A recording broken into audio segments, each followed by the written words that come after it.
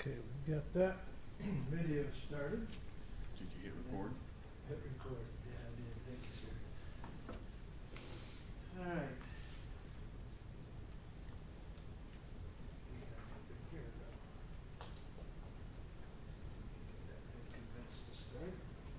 Good.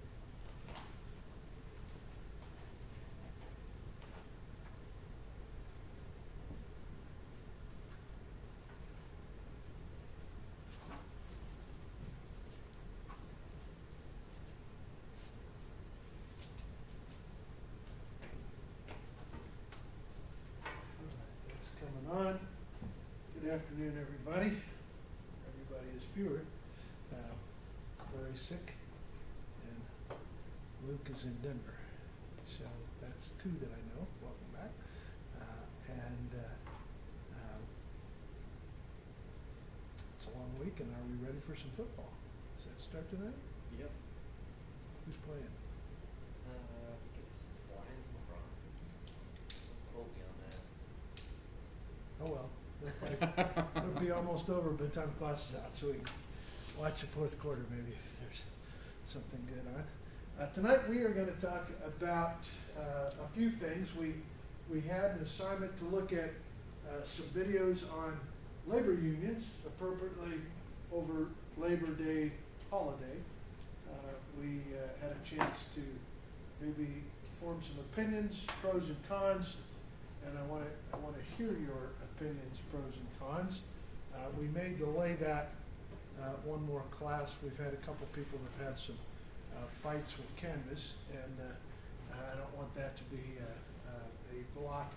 So hopefully, I I did post all eight of the videos on YouTube, the under my name Steve Carwell, and they blocked four of them for copyright violations, which is stands to reason. I got them off of YouTube, and they're on YouTube, and so I'm not sure precisely what kind of money they think we're generating here by them by putting them up, but uh, they've got them on open, unrestricted uh, YouTube public domain. So I don't understand the violation, but there's an algorithm that looks for songs, music, whatever. So half of them were blocked. So half of them are up, and half of them are blocked. All of them are on Canvas. So you have a couple of ways of getting to those if you haven't had a chance to view. You don't have to view all eight of them, and uh, you, you just enough for you to do that and a little bit of research and form an opinion on labor unions because there are viable, supportive, and uh, uh, not supportive arguments. And I want us to delve into those a little bit as a group.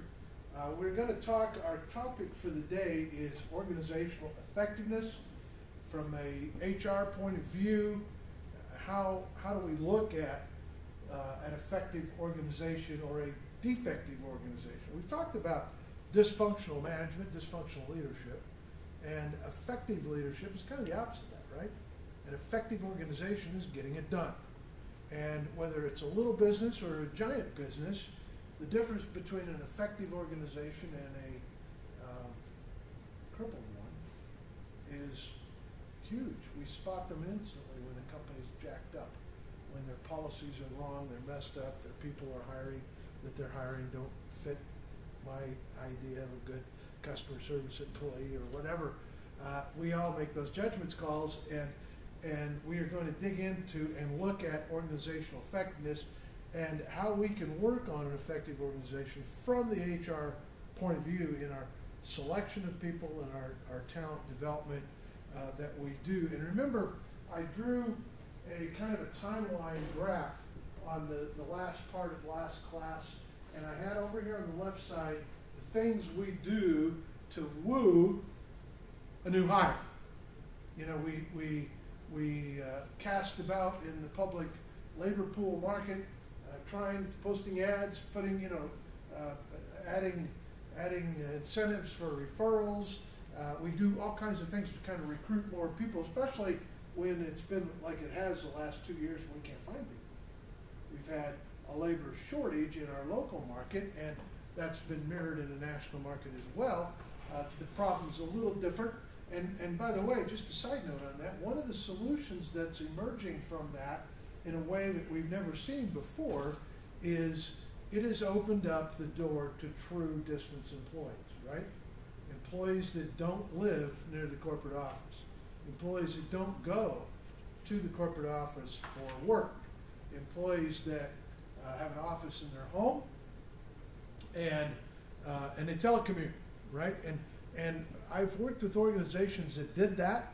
I've actually worked for organizations that did that, and uh, a long time ago. And and and but now we're seeing if we can't find the people we want locally, what is often happening now is they'll cast the net wider. We'll look in Seattle and say you can live in Seattle and work in St. George, and that never happened before. And that opens up a whole new set of challenges if you're the boss. If you own the company, or if you're trying to develop the talent in the, the, the company. I'm I'm gonna come back to that for a second. But I talked about the recruiting process here, the interviewing process, the selection process for candidates that we want to work, the job offer process, the onboarding process, the training process that is involved now that they are employees of ours. And then we had kind of a little jagged, unknown timeline, and then we talked about disengagement. We talked about when the employee wants a divorce, when the employee is done working in our company, they just can't take something that is there with the package. And we've all seen that. Some of us have experienced that, where we've we've got to the point where we decided that we gotta have, we gotta look for another job. And and we talked about that process, and we looked at the article on the from the book, the seven uh, re- hidden reasons that employees leave, and that's about that disengagement process. And we we learned that the very first flag that the boss usually can see is when the employee tries to change something. When they try to, they take a, they take a stab at changing something. Maybe they do it well and within the structure of the organization. Maybe they do it Maverick style and just do it. You know, different people have different different approaches on that. In a good quality management system, if you're an ISO 9000 company, you have a process in place of how you change.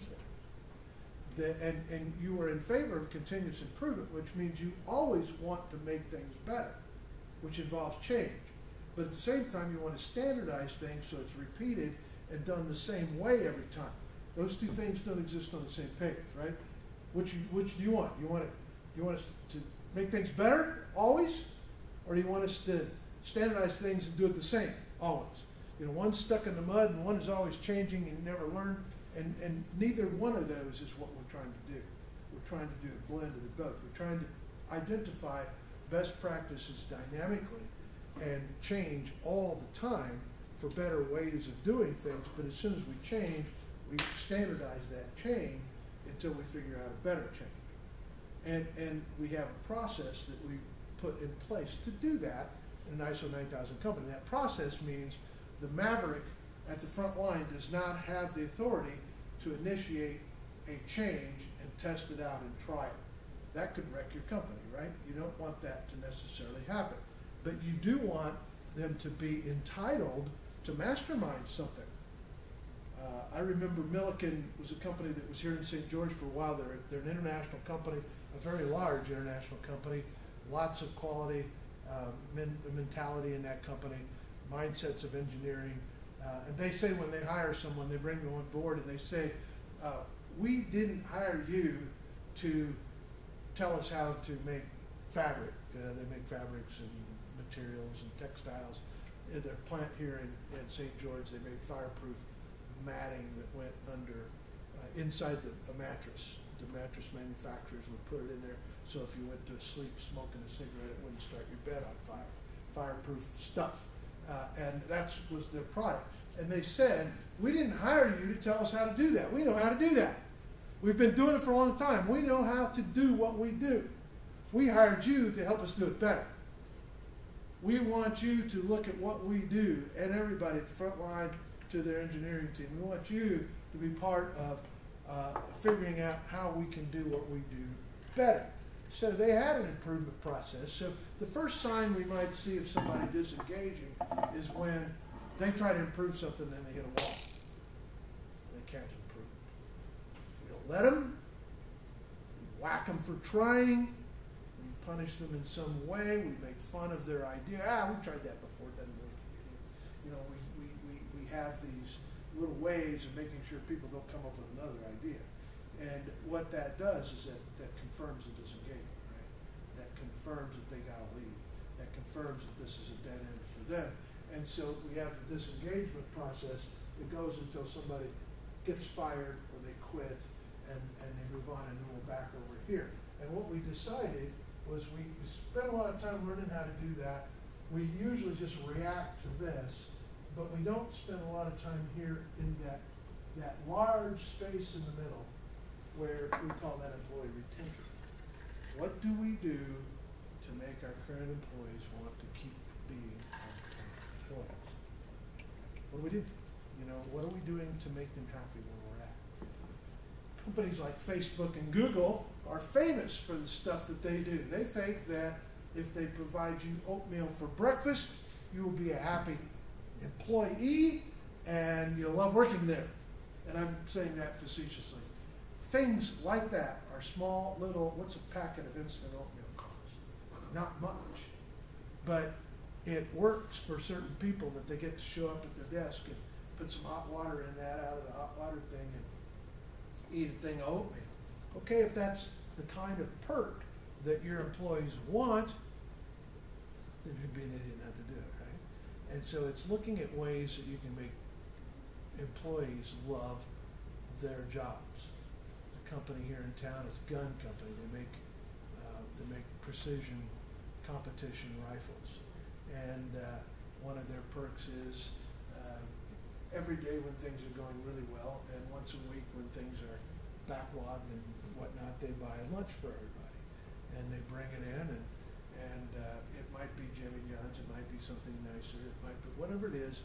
They bring it to the office and they have lunch together as a family employees at that company, and the the feedback I've heard from that is pretty incredible. People that are underpaid at the jobs that they're doing love their work there, partly because they get lunch once a week. You're kidding me? No, it really works. It really it really helps you unite them together as a family, and it's something that company does to help this employee retention in the middle. Because there's other places those employees can go. Their company's down in the Fort Pierce Industrial Park. Wilding Wallbeds would love to see you knock on their door and say, we, we, We offer breakfast. we do you really? Yeah. Okay. Cereal, That's awesome. soda machine. We offer free coffee. We have leather couches you can sit and sleep on during your lunch break. We've got a dartboard. We've got uh, Okay. ice pops when it gets hot. I'm, I'm loving it. But, but why are we doing those things? We're doing those things to send a token to our employees that, hey, we're people too. We like, you know, we like to kick back a little bit from time to time. We like to have some, some perks. And those things don't cost the company usually a ton of money. I mean, they do add up. They cost are up free. We paid out a thousand dollars in cash on Saturday for those that came in and worked extra hours Wow. in cash. We paid them overtime and then we paid them cash on top of it. Nice. Nice. That gets people happier, right? It doesn't fix, uh, uh, if we've got a problem, that uh, alone doesn't fix a problem, but it certainly makes people happy. So we talked about that, and, and I want to I want to talk a little bit more uh, about this employee uh, retention thing today, because engagement of employees is something I really want us to look at. Uh, I've got a series of video clips that are one minute long each, so they don't talk to you in Denver. I told everybody you were in Denver. ah, Next week. nice, nice job. Getting back. Um, we we have um, the Gallup polls. We've talked about Gallup before. We've uh, some of you've had a leadership class that I've taught. We've talked about Gallup quite a bit there. But I, there's a couple of things that I want to reiterate about Gallup's research. And you had a bunch of handouts last uh, last class. that had Gallup's name on them, and, and uh, we're going to review a couple of things from Gallup. I reprinted one of the uh, articles and that we're going to go through, and it's here with your handouts for today. And then there's two others that uh, are on the newer side that we want to talk about. But Gallup as an organization has done some things looking at employee retention, looking at what is it that makes employees feel satisfied with their work, and they've studied it a lot, and they think that employee engagement is really important to us. The lack of employee engagement is kind of a reflection that they're somewhere in the disengagement process, right? They're either neutral, you know, just waiting for something to go wrong, or they are already planning at some point in time to change jobs, to change maybe maybe you know, companies and maybe places that you live. You know, people have uh, a lot of ways that they change jobs. You know, we we we have uh, people that want to change churches, and if they're in a geographical area that they're in a parish or a ward or a designated church that they have to go to in their particular religion, and there are many like that, not not just the, the one you're thinking about. And to do that, if you want to change uh, church groups without changing religions, you have to move. You have to move into another space where you go to a different Catholic parish, for example. Uh, and uh, uh, you can't just pick and choose where you go. And so if you really want to move, you have to you have to really move towns. Well, people actually do that for jobs too. They don't want to tell their current job that they hate them, so they move. And uh, part of the reason they moved is because they just didn't know how to address quitting their job. And you don't, you can't really quite believe that people would be that would be true.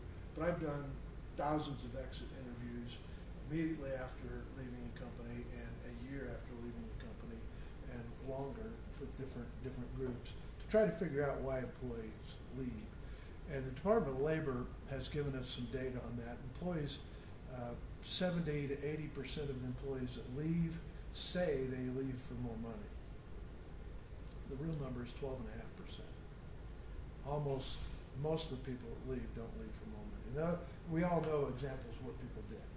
Uh, So it, it can and does happen that people leave for more money. We've got one sitting right here. Uh, it, and it's awesome when it happens like that. Being recruited and being offered more money is an amazing thing. But there are a lot of people that are disengaged. And when they're disengaged, they're at a disadvantage. And they're not in the driver's seat as much as they would like to be. Steve, Yes. Just to add to that, I think that the disengage happened before more money. Just throw that out there. Isn't that interesting? That that helped stimulate that. So it worked out really perfectly in the end, but there was a disengagement there. Yeah, I would agree with that. That's, that's, that's an interesting observation. And, and a lucky end to it. that you wind up saying, dang, I should have done this earlier, you know, kind of thing. But the opportunity probably wouldn't have been there earlier. It was just the timing. It was right. So the disengagement process is one that um, that we can kind of visualize it in our eyes.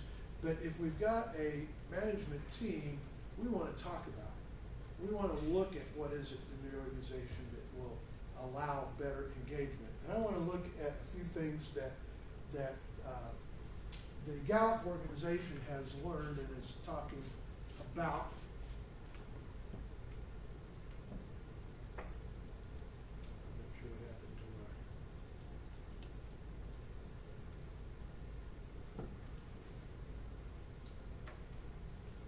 There.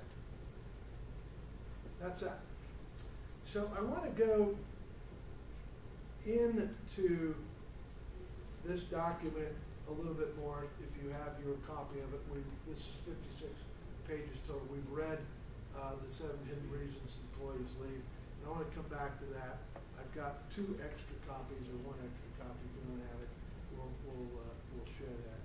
The, the Gallup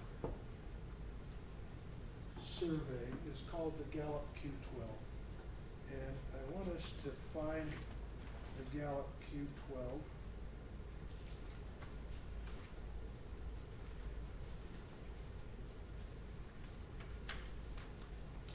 And this article right here, if you, I gave a copy to last class, I pre-printed it today, it's right here. So if you haven't picked one up, come get one.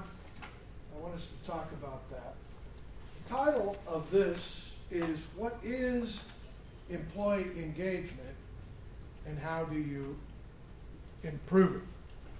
And as this is ten pages, there's ten of us in the class, in the room, and, and I, I want us to, and there's a bunch of big ads. Uh, this is off of their webpage. This is an advertisement of sorts for Gallup. And I want us to uh, kind of work our way through this document. And I'm going to talk about a few things that they say. And then we are going to look at their Q12 data and talk about it, how it may apply in our organization. So the title is What is Employee Engagement and How do you improve it? The sections, there are 11 of them that we are going to look at, are a definition, why it's important, uh, whose job is it to keep employees engaged, what are the drivers that make employee engagement happen, um, why our current programs may not be working, how do we measure employee engagement based on Gallup's uh, uh, history and their knowledge, their, their research. Uh, what is the model for employee engagement? Uh, some examples, three ty- types of employees that we have right now. Uh, what's the difference between employee engagement and the employee experience? Uh, how do we improve employee engagement, team uh, engagement ideas on improving it, and improving employee engagement begins here, which is the Gallup advertisement. Gallup is a national consulting organization. They have uh, a couple of clients that I know in St. George. I've worked with the Gallup organization uh, uh, cooperatively with some clients that they had. Um, They've done a lot in malls, which is an interesting thing because malls in America are in trouble, have been for a decade now. And the idea of making malls survive in a world of Amazon online uh, is a challenge. And, and so the Gallup organization has worked with mall owners uh, around the country, and I've worked with them on a few. The Fashion Mall in Las Vegas was one of the more interesting ones, where that mall's not indicative of all the rest of the malls in, in the world. It's not in a suburban area. It's right across from, um, you know, casinos that are highly profitable and, and millions of people travel through, and they want to take home some stuff. And so some stupidly expensive watches, jewelry, uh, blouses, shoes are available right across the street, but this mall still struggles. And so in spite of the fact that there's a, a different market there, Gallup has had to work with that organization, and, and I've worked with that organization. Gallup has worked with the mall here in St. George, which is a completely different type of mall. This mall was, one-third of the mall at one time was owned by Walmart. And Walmart doesn't actually own mall space anywhere in the, the world. That's not their game. But somehow, uh, they helped sponsor and build the mall in St. George, Utah. And some of you remember when Walmart was where Dillard's is. And when you see that little fenced-in area on the outside, on the end where, you, by the gym that you go in and out of the property, uh, you, it looks weird. Dillard's doesn't need that space. Well, Walmart used it for their lawn and garden, right? And, and so when you look at it with that in mind, you go, oh yeah, that looks kind of like a lawn and garden department for a Walmart. And now you know why it's in our mall. And so eventually, uh, the mall was able to buy their space when they built a store. And uh, then, then that had, it's, then it still had two, two ownership uh, based on investment group and, and a, a different team that bought that space. And at the same time, ZCMI uh, decided that they weren't going to do business in Utah anymore, uh, and they went under. Right? And remember when that happened? They officially sold their assets to another uh, department store chain in Seattle, uh, at, but by the name of Nordstrom. And and Nordstrom also decided to leave Utah, just just just to add stuff to it because it's it's a hard business to be in right now. And so Gallup has got experience with organizations like that that still have the challenges of, of trying to operate profitably and uh, trying to uh, engage employees trying to engage, in their case, uh, uh, clients that are renting space from them and, and, and doing that. So Gallup has a lot of, of experience worldwide, especially in the US. And so we're gonna look at some of the things that they publish here. I'm gonna, we'll, we'll just, we'll kind of, um, uh, gonna divide these up into sections and you can each find your section, uh, and, and read your section and we'll talk, we'll go around and talk about it a little bit. Uh, Jake, section one, uh, Eric, two, uh, number three, number four, down to you, number five, number six, seven, eight, nine. And then I'll take ten and eleven. Uh, so if you haven't got one yet, get a copy and read your number. Uh, and then we'll talk about a little bit.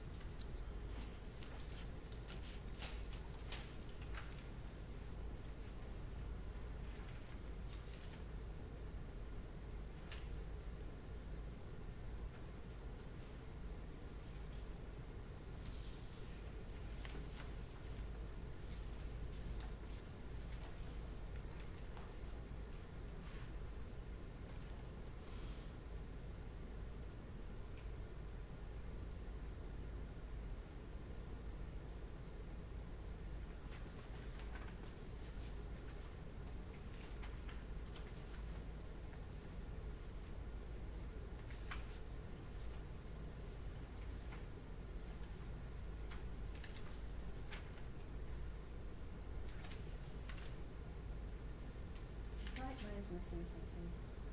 I'm sorry? Mine says there's three kinds of employees you have, but it only talks about one. And then it has an arrow where you could arrow over. It's Uh-oh. Mine says there are twelve elements and only this one. Uh-oh. yeah, we need to arrow over. But we I can't got a on the problem with paper. that. You can't do that. See, that's why, Mm. that's why hard copy's no good, right? All right, let's see if we can find that. So we can talk a little bit more about it. I know what three types of employees are, but I don't know, and I know the twelve.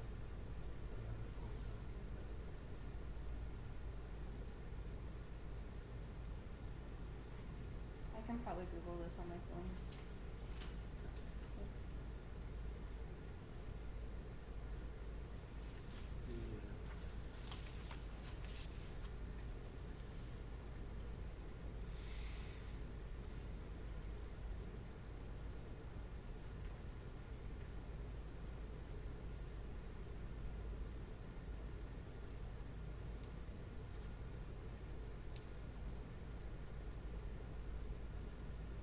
I could Google it. Josie, you're number six? Mhm. Yeah, Okay, those are, that's the twelve questions. And, yeah, what more about it? Well, I can see the question one. We have those elsewhere. You can share out leading up to that.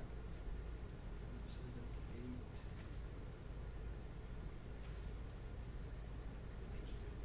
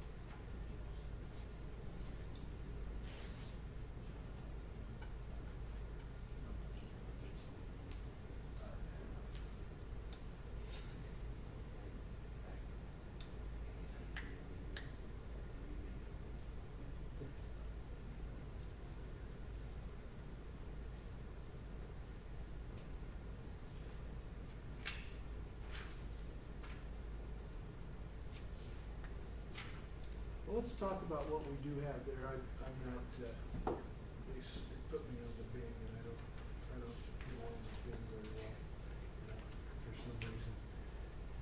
Jake, what'd you learn Um, about the definition? so the, the definition, I, I learned that employee engagement helps measure the, and manage an employee's perspective on the crucial elements. So essentially, if you're engaged with your employees, you're, you can get a sense whether they're about ready to quit or if they're happy in doing their job and maybe, uh, maybe what they're doing is not meant for them and they'd be happier doing something else in the department. Uh, you know, stuff like that. So, um, essentially as a manager, you just gotta put in the time with your employees and, and show that you're there. And eventually they'll, reciprocate. Okay, when, when, when we are, when we are personally engaged, what, what are some of the things it feels like? Because we've had our days where we're engaged. You feel like part of it, like part of the company, like it's, like it's exciting to be part of what's happening, like an important part of it. Oh, yeah, and we get in a groove, whatever it is, big or little, that we're doing when we're engaged. You know, an, an example to measure engagement is almost all of us have a, a different level of engagement the day before we leave for vacation. We've got a list of crap we gotta get done, we've been delaying, and we don't wanna get caught that we didn't do it while we're gone. And so we got this list of stuff we check off that, man, we motor through, we are one efficient thing. We, and, and whether it's, we're engaged for the wrong reason, we're engaged because we're covering our butt, we're engaged because we're, you know, we're trying to get things whistled up so that, you know, everything will go smoothly when we're gone.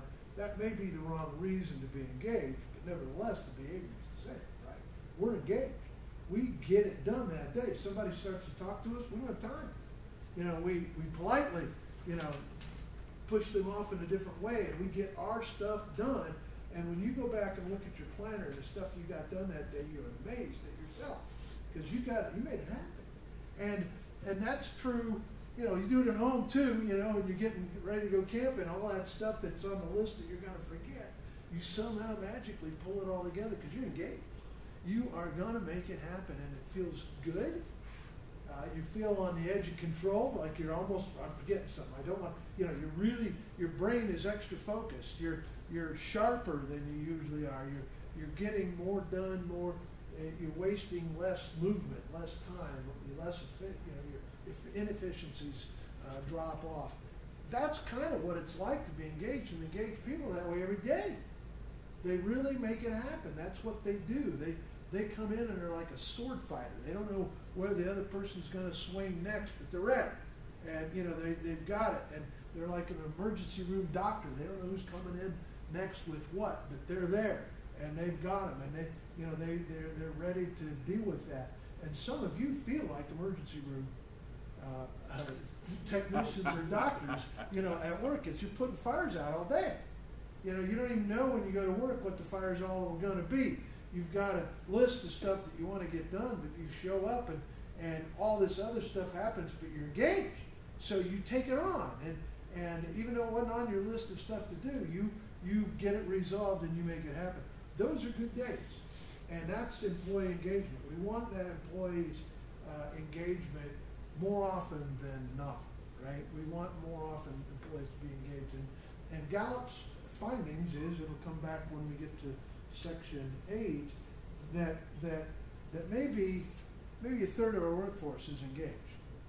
And that's good and terrible. you know, it's good that we got people that are engaged, and it's terrible that it's only thirty percent. Uh, but anyway, we'll talk more about that in a minute. Number two, Eric. Uh, number two, why is employee engagement important? Um, I know, I feel like that's pretty self-explanatory. I can think of like, for example, like three people at my work. Everybody's always got those people that I guess, you know, there's always, you always catch them standing on their phone or something like that. Or got some people coming in in the morning and they'll just sit around and not really do anything, just be looking around.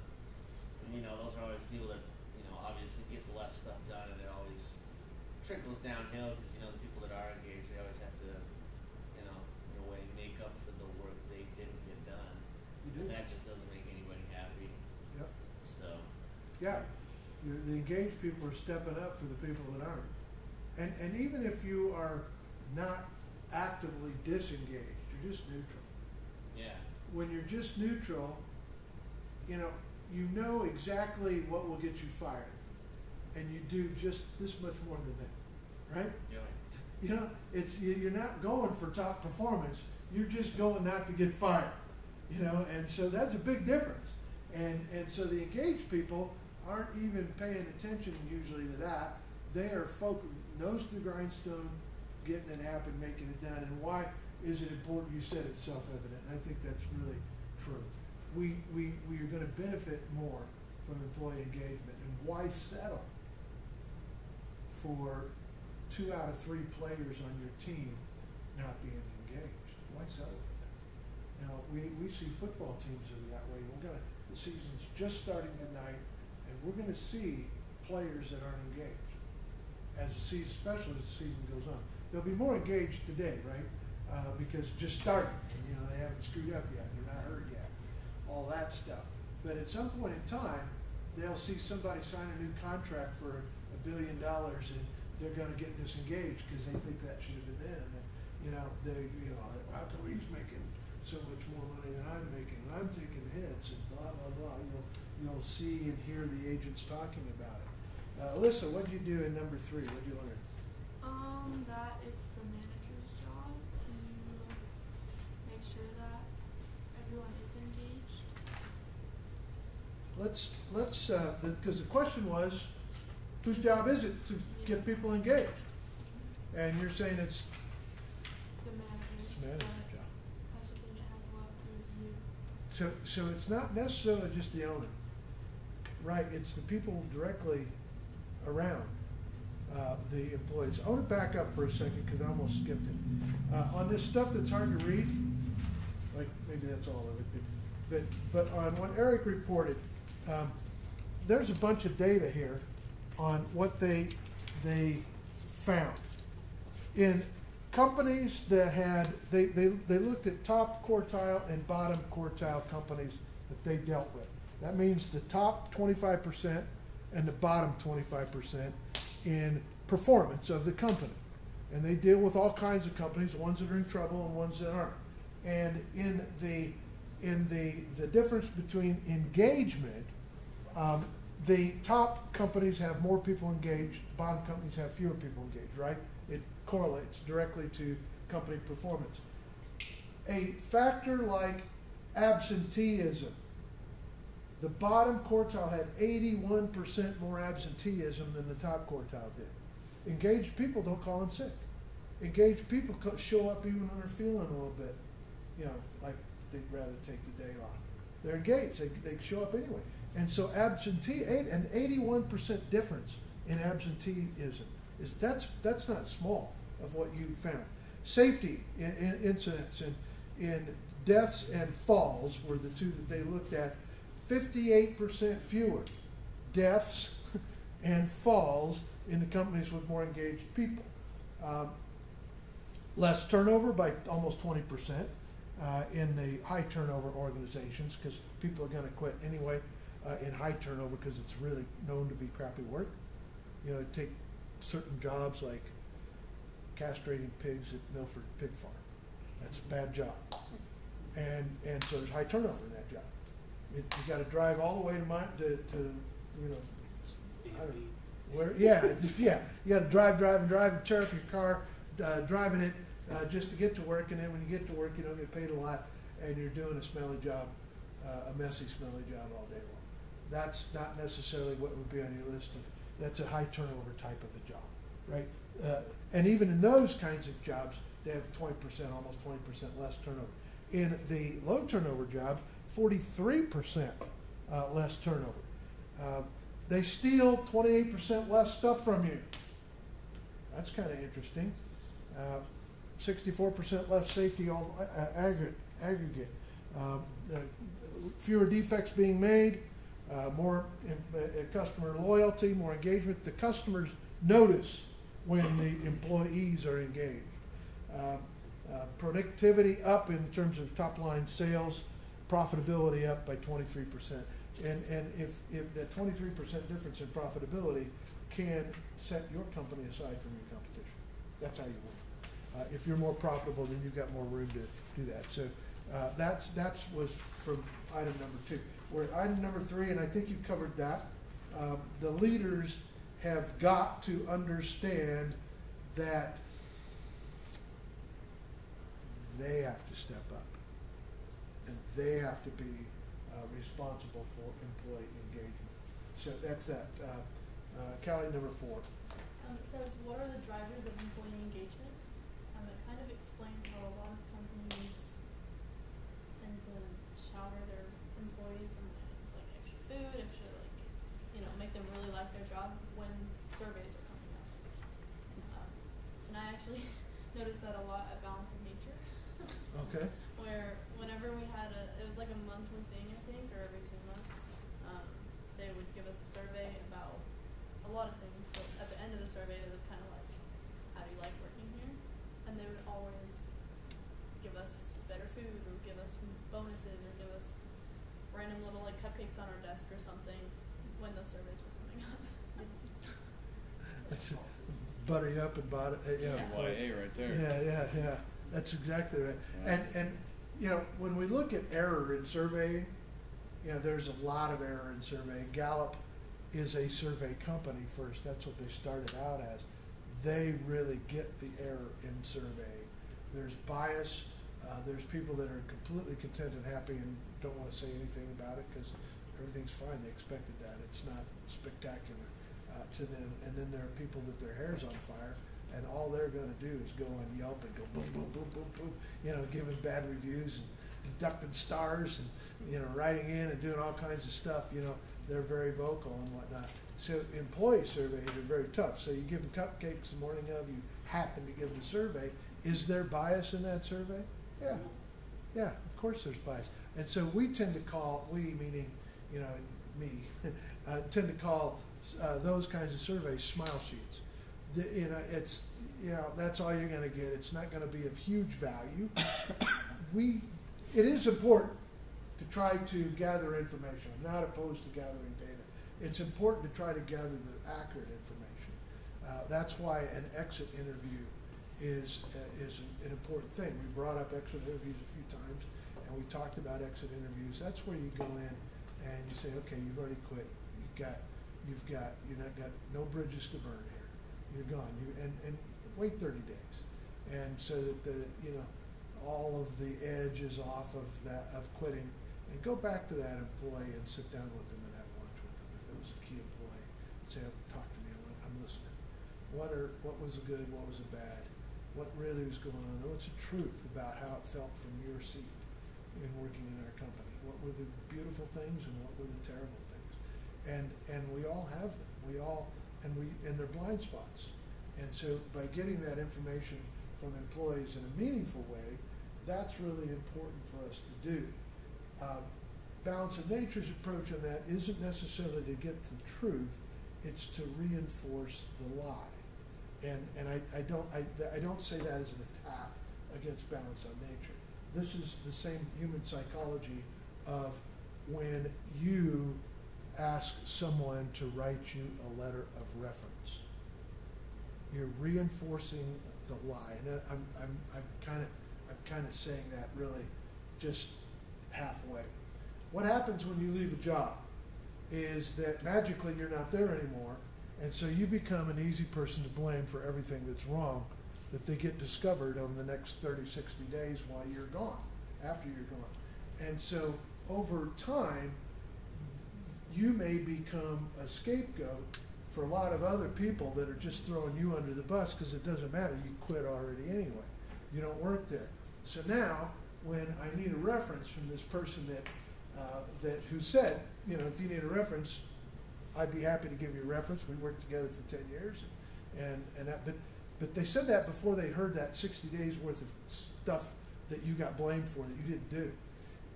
And if I've written a letter right when I quit, and they gave me the letter, the chances are they've reinforced their true belief set. And the chances are they're not going to change their mind if they get checked for references afterwards, even after I've been blamed for stuff that I didn't do. So that's a human psychology weirdness, right? Uh, and so it's in your best interest if you leave a place and have friends there that say they give you a reference, have them give it to you now. Have them write it down and give you a sheet, uh, it if they want, um, and uh, uh, but you have it in your hand. Value of having it in your hand is when you do need it, you don't have to go ask for it again. Uh, but the real value is that they're not going to go back on what they wrote. If they said you were good, they're not going to say otherwise uh, because they think you may have given that letter to somebody else and they don't want to look like an idiot by saying two different things, if that makes sense. So this, the smile sheet does the same thing for the employees. It burns the thing that this morning I was happy. I said so. I put it down on a survey. So I must be happy. you know, it just you're you're you're further burning a, a mindset, and, and which is not a bad thing to do. Not saying that's a bad thing to do at all. Uh, be sure that we're getting reality too, though. That we're not just coercing people to to say, oh, it's great, but you know, it's the emperor is naked kind of thing. That you know, got no clothes on. You don't tell the boss they don't have any clothes on. You just don't do that. Uh, that's a bad idea. So you just you say good things or you say nothing. And in that that's dysfunctionality in an organization. We want to try to get to the bottom of what really is going on so we can retain those employees. Because if there's if there's crap going on, we need to know about it. So we can address it, so we can do something about it. So maybe we can, and our objective is not to go in with a, sw- uh, a cut a swath with a machete and fire a bunch of people. Our objective is to try to make the place a better place. And if we can coach and, and help people, we have an awful lot of people that are supervisors and it's their first time supervisor. And that's like giving a cop a badge on day one of work. Uh, and, and you've been an officer before. That feeling of getting dressed the day you're going to go report to the job for the first time. You've, you've been trained, you've got out of, of post training, you've gone through the academy or whatever it is that you've gone, you've got this training, you've got a uniform, you have a badge, and you strap on a gun and a taser, and you look in the mirror before you leave. And that's a feeling you've never had before. And some people don't know what to do with that power. Right? I mean, we've we've seen people that that biff it. You know, all of a sudden they're Mr. Real Cool. You know, because they got they got a badge and a gun, and they don't know when and how to use that properly. Should be trained, but we're all humans, and you know, first time we get authority, we don't know how to handle it ourselves, and so we mess it up. Uh, a lot of times, it may not be a badge and a gun. In our case, it may just be a title on a business card, and and and now we don't even know how to act or behave on that, and so we do it wrong. And the organization needs to help me do it right. You know, they need to, to reach out to me and coach me and help me not make the mistakes of being a first time guy with some authority, because that'll drive employees off, and we want to retain them, objective here. Uh, okay. Did we cover your number okay? All right, we're at number five. Why current programs aren't improving. Hang, hang on a second, we didn't cover you, Cal, uh, uh, uh, Callie's okay. Hang on just a second, I'm sorry to interrupt you. Go to page, go to page six and you'll see the key drivers of employee engagement they find are purpose, development, a caring manager, ongoing conversation, and a focus on strengths. That's from my perspective as an employee. I need to feel purpose. I need to feel that I'm being developed, that I'm that the company is helping to develop me, my boss cares about me, that we're having dialogue, not just once in a while when I'm in trouble, but we're having co- uh, constructive dialogue, and there is a constant conversation about what I'm good at and what I'm really knocking it out of the park in, and building up my confidence in the things I'm doing well. And, and that is an important piece that Callie reports to us in uh, uh, section uh, four, now section five. Now, Andrew. All right. Why current programs aren't improving employee engagement? Um, it's not my job. It's HR's job. Yep. They should be down here talking to you about this stuff. I'm busy. Um, or we're using the wrong matrix uh, to measure. Either we're getting too complicated or we are uh, setting the bar way too low for the smile sheets. Um, or in our case, we don't have one.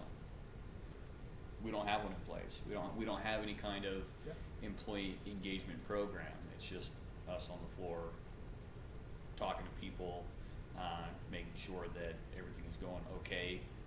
Um, so yeah, we don't use surveys. I wish we did. I push to keep them. I did too. I did as well. Um, Survey monkey.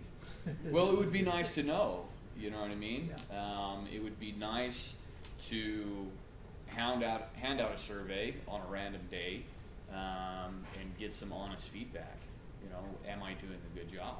I recently gave a survey to, to, to Larry, and I'm still waiting for it. Um, and I told him, look, you just be honest. Give me honest feedback. That's what I'm looking for. How can I do better for you? And I would like to do that for the regular people on the shop floor.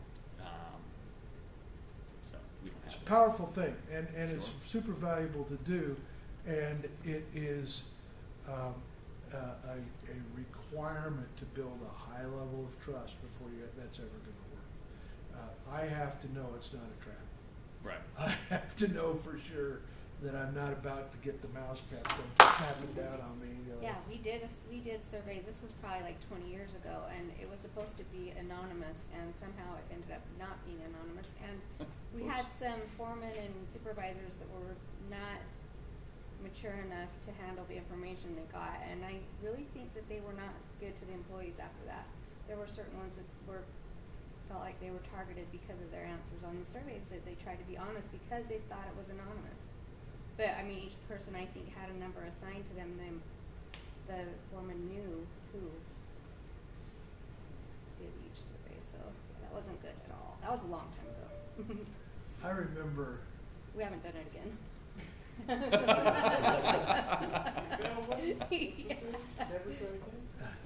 Phil wants to return.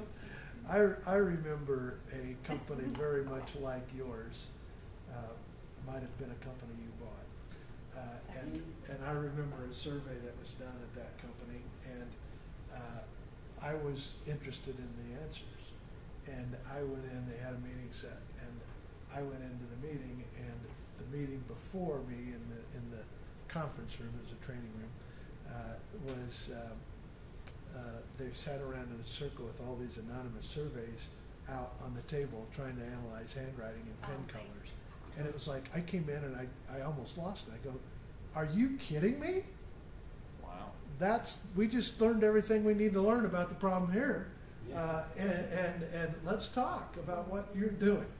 You know, and, you know, do you think I'm the only one that knows? Everybody else that filled one of this out was afraid you'd do exactly this. And, and, and they were. Honestly, they were. Uh, but, uh, Nord doesn't work there. Who? I didn't say it. you had a chance.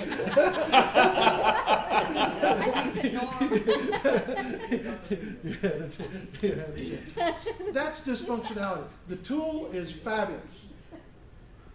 And we want the information out of it. And sometimes if we're not sure that the information is, um, that we'll get it in the form of a survey, I, I wouldn't be opposed to say, uh, have breakfast, lunch, or a break with one-on-ones. And, and have your list prepared and say, look, I really wanna know some stuff about what we're doing here culture-wise and what would make your job easier. And what are the things that make you afraid the most about this company? You know, you love your job, you hate your job, whatever it is, you wanna keep your job. And, and uh, I want you to love your job and I, I want us to do the things necessary for you to love your job and, and I value your point of view. And so having a one-on-one conversation that's not in writing and not recorded, you let them know this is not a recorded conversation and live to it and say, this is the two of us wanting to know stuff. I've wanted, just think about it as a customer, I've wanted managers of restaurants to sit down at my table for a minute and ask me a few questions about the meal I just got. You know, what was the service like? What was the menu like? Was, you know, I've stared at menus, you have too. I've gone into restaurants, I've stared at menus and didn't see one thing on the menu that I wanted to order. it was like, this is all too weird, uh, you know? Or I've gone into other places and I've just had a hard time deciding, because there's ten things I'd like to order on there. That looks good, that looks good, that looks delicious. And so, how, that's magic. How does a restaurant do that? And am I just one? Yes, I'm just one. But get that information with more than just one. How many people are looking at your menu and not being able to figure out what they really want to order? And would your business go up if you changed your menu? You know, Chili's, Outback Steakhouse, Olive Garden are always thinking with their menus. Even McDonald's throws a McRib in and takes it out. You know, they're messing with their menu. Why are they doing that? To, to learn, keep learning if the tastes of the customers are changing. And you do that by one-on-one conversations, sitting down. Surveys are okay, but where I really would get information is sitting down, looking at somebody in the eye and saying, you know, what about the noise level in here? Is it too noisy or is it not noisy enough? And understanding that's just one person's opinion, but it's one more opinion than I had before I asked the question. And, and so learning that one person's opinion as a customer is of value, learning the employee's opinions is more valuable, a lot more. All right, we're gonna need a break here pretty soon, so let's get through this and have, uh, hear from Gallup a little bit. Josie, the twelve ele- elements of which you only have one, right? I, I found two more online, but it only lets me see. Okay, I got all twelve, so we're gonna cover all twelve before we're done, but go ahead and introduce, uh, what you learned about the twelve questions. So it's about measuring employee engagement and like the tools that you can give your employees to make sure that they have like more opportunities to feel more engaged and to have the job experience be more personal to them. So it's having the right tools, being trained properly, knowing what's expected of you, having opportunities to grow and stuff like that. Okay, yeah, we'll, we'll work more on it together, uh, going back through the twelve. Uh, let's go to number seven, the model that you see. Yeah, so the employee engagement model has uh, four tiers. So it's basic, individual, teamwork, and growth. And it basically talks about how uh, each uh, level is not a checkbox that we go, well, we got basic done, so now we move on to the next one, to the next one, to the next one. Uh, you actually have to consistently and continually fulfill these needs and move on to the next one. And if you try and move on to the next one before, you're going to have some issues. Okay, so it's understanding the elements, and of the twelve questions, they fit at different spots on this pyramid. Yeah, and the other pa- handout that you gave us last time. It has that in it, it has, it does, it has those listed in there. Uh, number eight, the three types of employees you have, one of which you know is. Yeah. Okay. Okay, they have engaged, and they said that's thirty-three percent employees, and that thirty-three percent of the employees are engaged, and, um, they have not engaged, it says are fifty-one percent of employees, and so the engaged ones, they said, are people that will like go above and beyond, maybe stay late to get a project done or whatever, they're excited about their jobs. Then the not engaged employees are just the ones that clock in, get their job done, and leave as soon as they can, and just do their job just to get their check. And then actively disengaged, which are sixteen percent, are people that show up and then just like, uh, very unhappy and complain and, uh, you know, make the morale even worse there because they're so unhappy, but they don't leave. Yeah, this is an important thing that, that, uh, Joelle's talking about here. Uh, and, and when we, when we, when we look at this room, one, two, three, four, five, six, seven, 10 of us in this room, what she just told us is that 30% in this room, that's six of us. Six of us on this team are engaged. You're all in. You're doing, uh, that's not 30% of 10. Holy smokes, am I in accounting or what? wow. Thank you for correcting me there.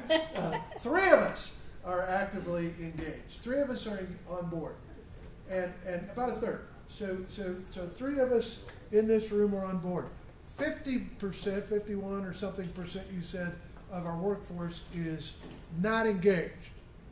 They're not, they're, they're really on the fence. They're not against us, but they're the ones that are doing, the, engaged doing their job and more, you know, whatever it takes is what the engaged people do. The, the not engaged people will do the bare minimum tonight to get fired. You know, so they're not gonna stay a minute late, they're not gonna show up a minute early. Uh, they will, if they're entitled to whatever it is, they'll take the full entitlement. You know, they're, they're trying not to get fired, that's good. So that's five of us in this room that were like that. And then the actively disengaged are two of you. And you're vocal, you're, it's us and them. Why don't they do this and that? And you talk to the five that are neutral, that are sitting on the fence. You're, the, engaged people aren't listening to you because it's like, leave me alone. I got to do my work. I got my job to do. The unengaged, the, the neutral people, the five of you, are sitting ducks. You're, you're, you're, you're a target of the two that are trying to get somebody to join them. And active disengagement means that they will, at some point, do something detrimental to the company. They will ship a product that's wrong.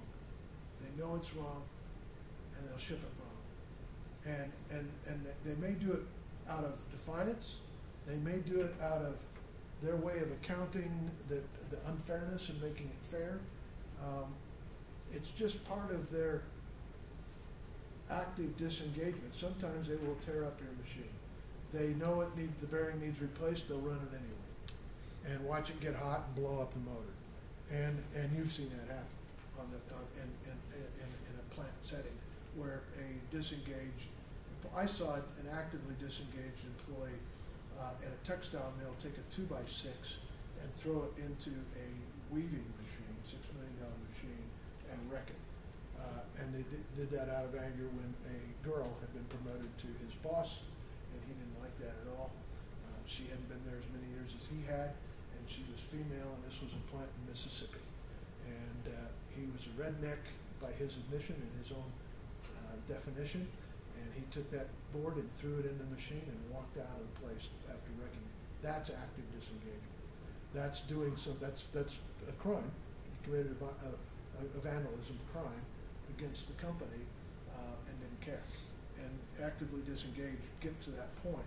But here's the here's the interesting thing. When we look at a at a team of ten people, these numbers are the general reflection that Gallup has found in our teams. We can beat that. The Super Bowl winning team doesn't have two actively disengaged players out of ten. They they've sorted them out. Uh, and by the way, actively disengaged are not the ones we want to fire at first because they're the ones that are talking to other people. And that means they're willing to talk. They're the people that are here trying to change something. And they're talking to people about that thing they want to change, and it's made them real mad. And it may be a little thing from the corporate, that may be why they haven't got their way. They have to park in the back parking lot, and they want to park near into public parking in their store. Why shouldn't I park in a close spot? The manager says, employees park in the back, and it makes them mad. And so they start talking to everybody about that, and they become actively disengaged because of where they park. And, and uh, so I want to try to win that employee. We try to identify him first. And I'm trying to win that employee because if we can get that person, they won't go through the uh, unengaged. They will go direct to engaged. Once they get, if they get converted, they're all in just as loud as they were against us. They will be for us if we can switch them. If we can't, we need them out of the organization, right? Because they're poison, they're cancers to the organization. So we want to move them out if we can't get them switched. But um, this is an interesting number, and I've gone into boards of directors of companies that you know, uh, at two two organizations that you knew know that you don't know the current the players that were players when I did this. This was some years back, but I went into the UTA, the Utah Transit Authority Board of Directors, uh, and exposed exactly what we just talked about here. Uh, three out of ten were engaged, five out of ten didn't give a rip, and two of them were trying to tear up the organization politically.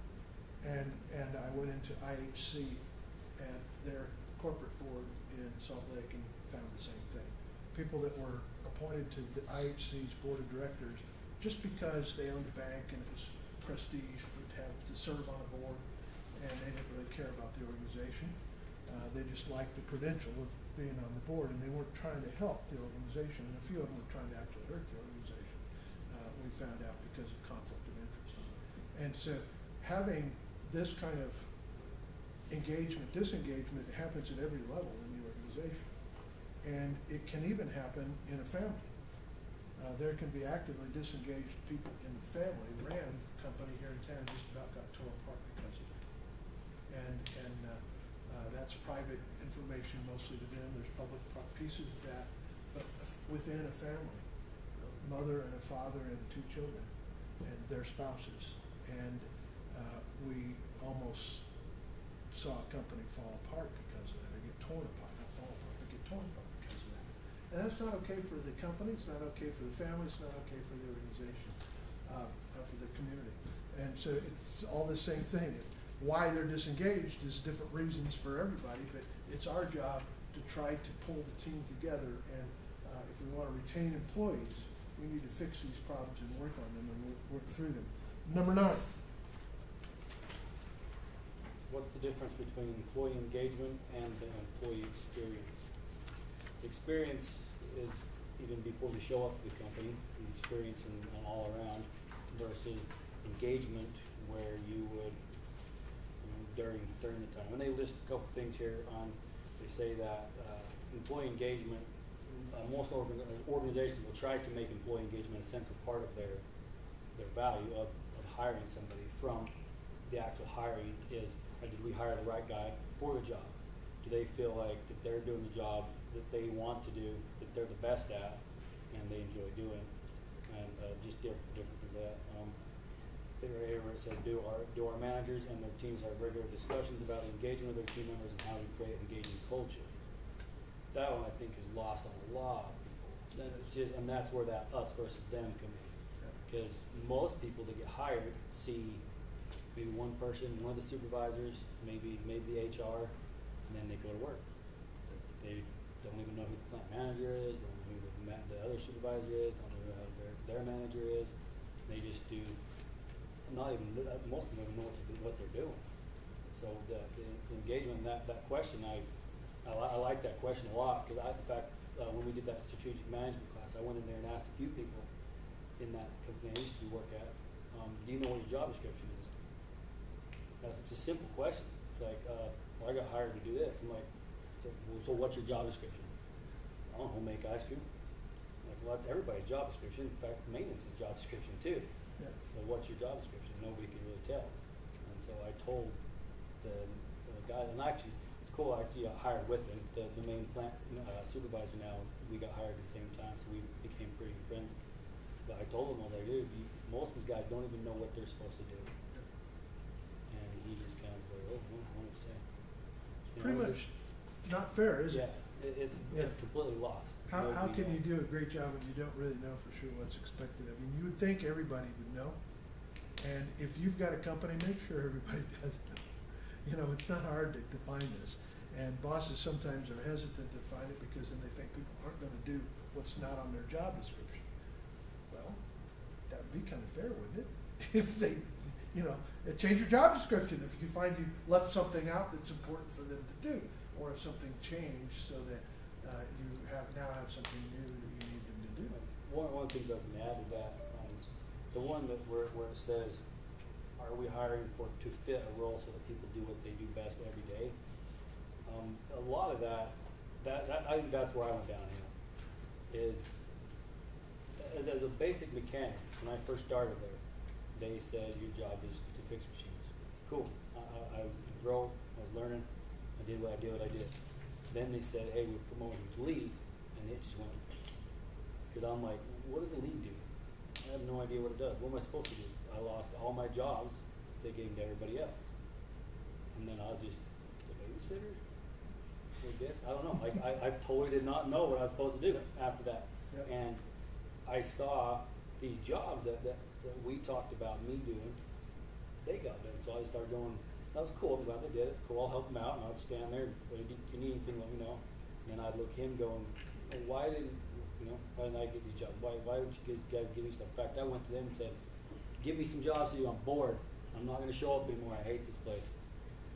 And it was not that I didn't like the place. I loved the place. I really did. I enjoyed it. Enjoyed the work. But it just because of, of faulty communication, lack of engagement, I started falling, being like, okay, I'm.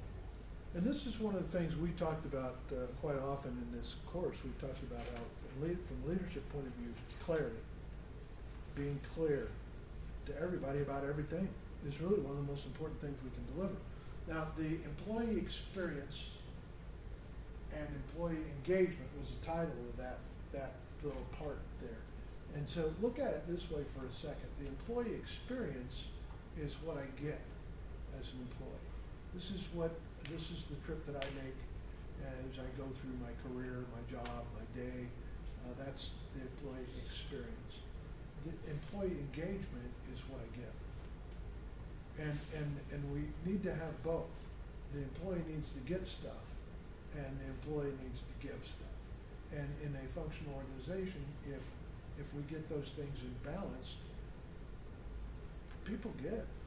You don't have to wring it out of them. People voluntarily. I mean, you look at some of the things you've done for your company, the way you've gone the extra mile. I bet every one of you could list me 10, 15 things that you could remember in the recent past that you did, nobody made you do them. You just saw them to do. Uh, you went through, you did them, got them done, and and and that's engagement. That's stuff you do. And when a boss sees that happening, then the employee experience ought to go up, right? Uh, the, the, the, the balance of things you give to the employee uh, ought to give, go up because the stuff they're giving to the company is going up. Yes? I feel like a problem with probably a lot of these companies are that they started out kind of like our company did. My dad was the person that started it, and they ran the office with like five people, and he they, he knew exactly what everybody did, and then they had a shop with a foreman, and maybe twenty people. But then it exploded, and now we have an office with like twelve or fifteen people, and then the shop at our facility has, well, we have a total of seventy employees there, and a seventy at the other place.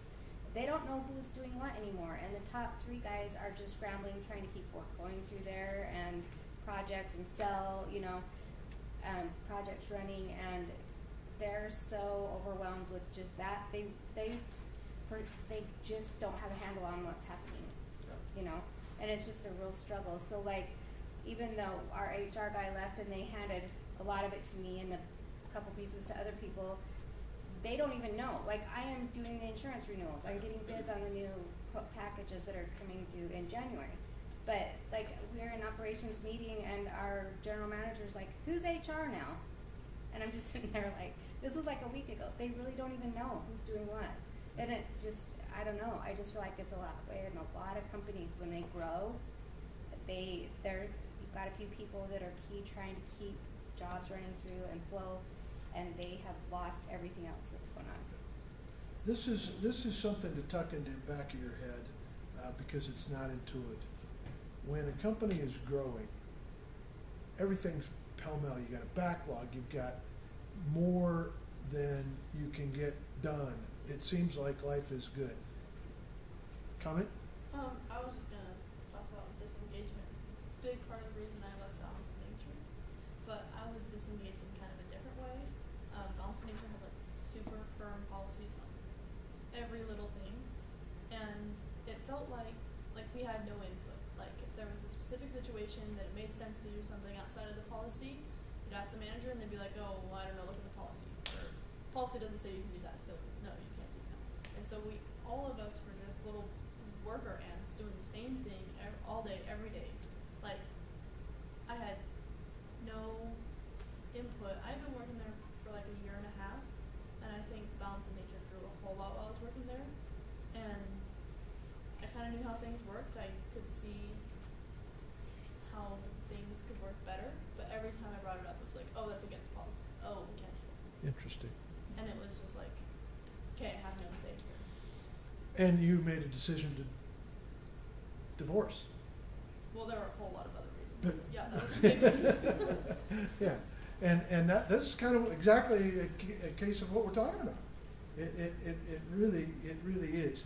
One of the things that's not intuitive uh, is that managing growth is very very much harder than managing a turnaround. When a company is going down, everybody knows at, within the organization. Everybody is afraid. Everybody is focused.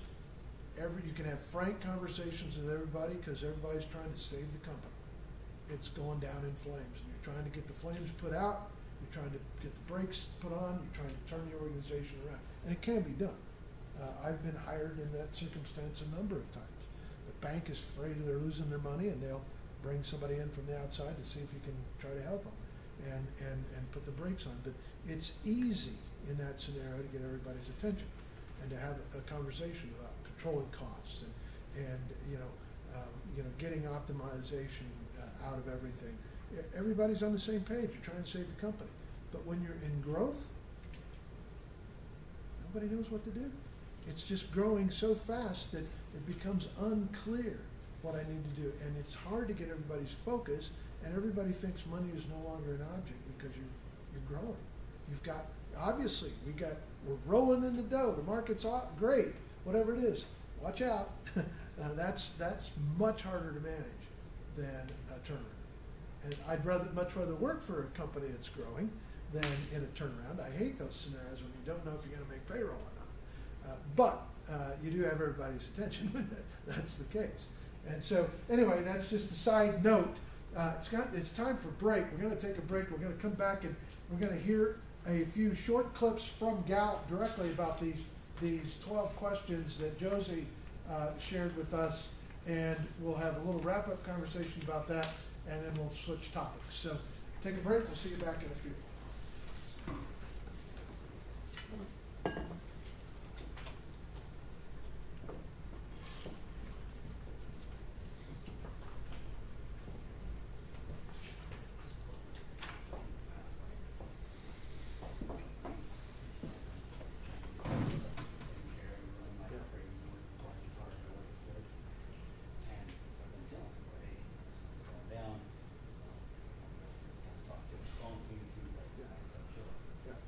I had two companies offer me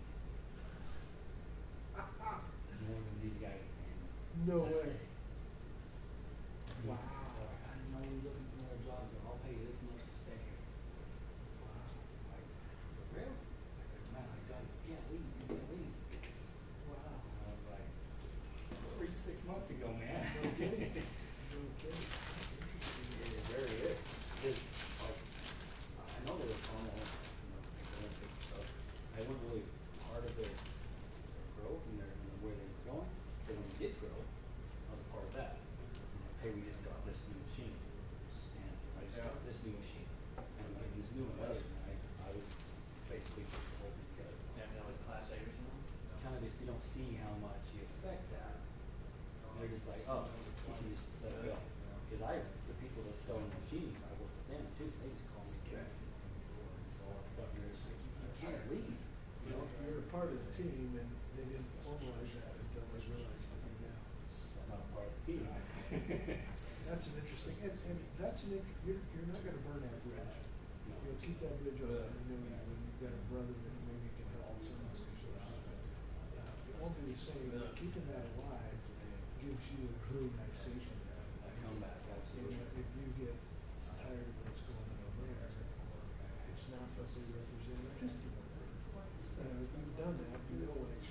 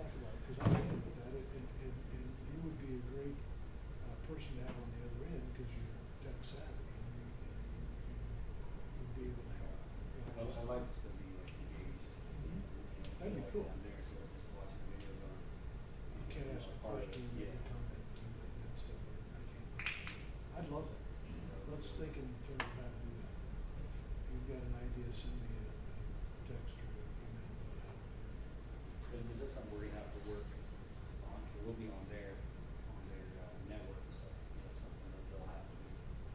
They're not just gonna throw on some random thing, that's gonna be equipment through there, whatever they do. Right. And I think we, like I say, I think that we've done it enough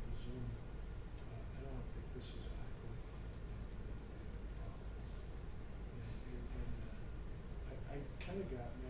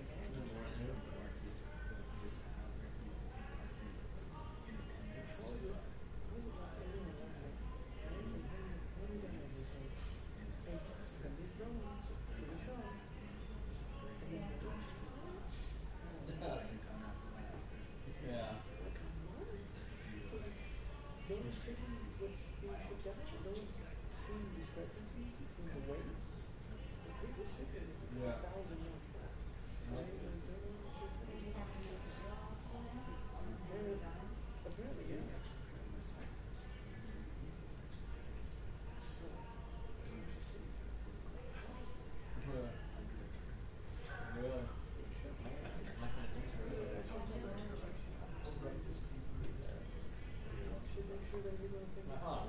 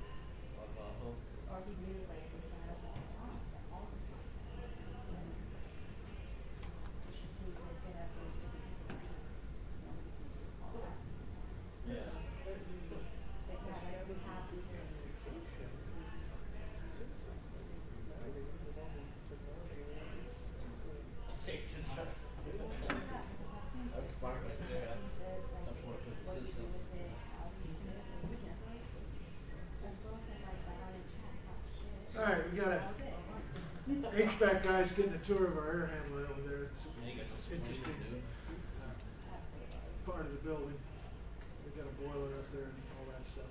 We're gonna, we're gonna watch, uh, Gallup, one of the PhDs that's in charge of research at Gallup, give some comments about the Gallup twelve questions.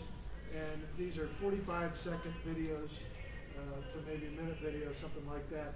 Uh, one for each question. These are the twelve questions that Gallup has decided from their research, these are the twelve things that indicate employee engagement the most. Now, we've looked at these in other classes, uh, this is a bit of a review. If you wanna gauge how well you are doing as a boss, uh, giving your employees the Gallup Q twelve survey and have them, um, answer those questions, uh, and then, uh, do it again after you've had, a chance to look at them and worked for three months on them or something like that. This will give you a gauge on a scorecard for you, a report card for you of how you're doing. And, and, uh, that most of the questions are answerable, they're not debatable questions. They're, have you, they're black and white answers. Have you, you answer yes or no, no. You know, do you have the tools you need to do your job? That's a yes or no. Uh, if the answer is you're missing stuff, then it's a no. You don't have the tools you need to do job. Uh, so that's, uh, uh, this, if, if I have a, a, an employee a question, I know what is expected of me at work, which is the first question that Josie, uh, shared with us. And I say, I don't know what's expected of me at work, you can't argue with me. I don't know. And I'm not placing blame about why I don't know. Maybe I don't know because I'm dumb as a rock and you told me and I didn't remember any of it. So you obviously didn't teach me what I needed to do at work. So I don't know. Uh, and so it's not like, uh, uh, this is terms for an argument.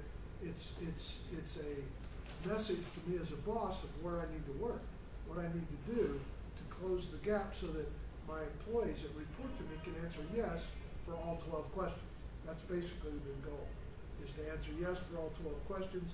And if you can't, it's my job as a boss to figure out how I can give you, uh, the information or the connection or what I need to change in my game plan so you can answer yes. So the first question that we'll look at, we'll look at all twelve of these, uh, quickly.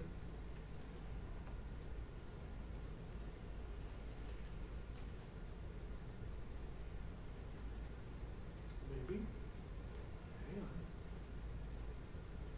Something happened to her.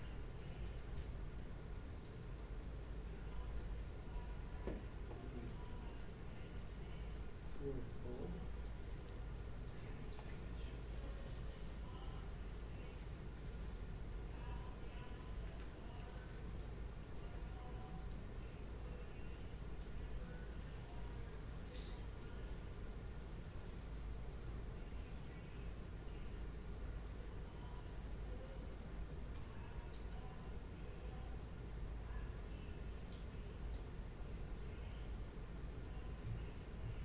Guess he went to sleep somehow.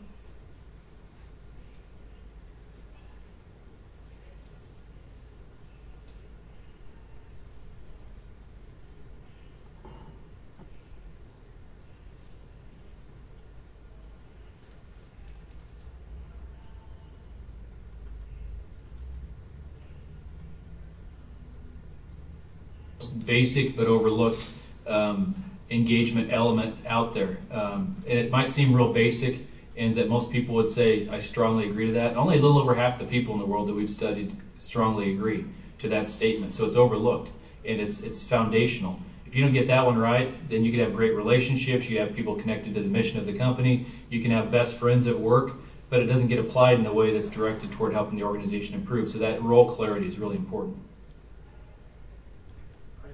Is expected of me at work. That's quite, that's Q one. Q two, I have the materials and equipment I need to do my work right.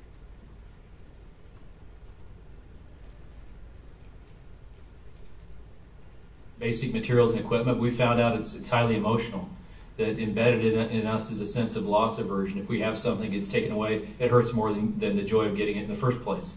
And so people need the stuff uh, to do their jobs. And a lot of times it's just fine tuning. Um, it's all related to doing your work right, but it's fine tuning. Um, for someone on the front line in a in a retail environment, it might be uh, literally just having a stapler to staple some receipts together. Uh, a lot of times when we get under the hood, we find out that it's it's real basic things that aren't all that costly. Shame on us if our people say no to that one. At work, I have the opportunity to do what I do best every day. Question three.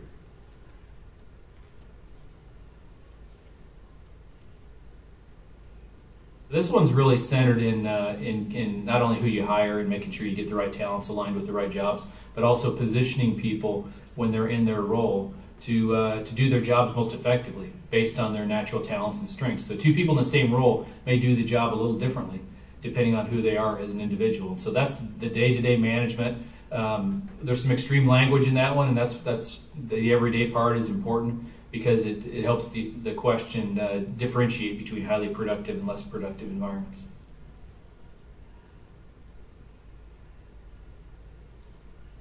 Now, they know that we have to do some stuff that we don't do best as well, but the idea is, do I, am I mostly able to do every day the stuff that I like to do? In the last seven days, I have received recognition of praise. Indictment on, on you have or you haven't. And if they say you haven't, then we've got a chance to improve. Every time we uh, we uh, do something that we view as, as a positive outcome, we get kind of a surge of dopamine. That's the same with recognition. And last seven days is important because um, we can get recognition, but we need it continuously. If, if it's conditioned on doing great work, um, doing doing our work right and doing great work, and so if we're if we're productive and we're doing our work, it's it's very difficult to get too much recognition. Now, the thing that a lot of managers kind of overlook there is that different people need recognition in different kinds of ways. And so we're all different, we're all individuals, and some of the hard work of management is getting to know each person and making sure the recognition is right for the person and that it's based in good work and that it's frequent, that it's continuous.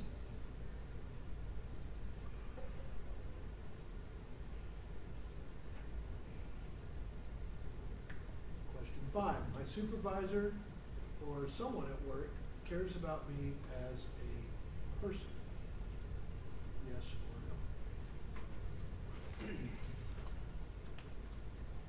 This one relates to a lot of uh, almost every outcome that we look at uh, in our research.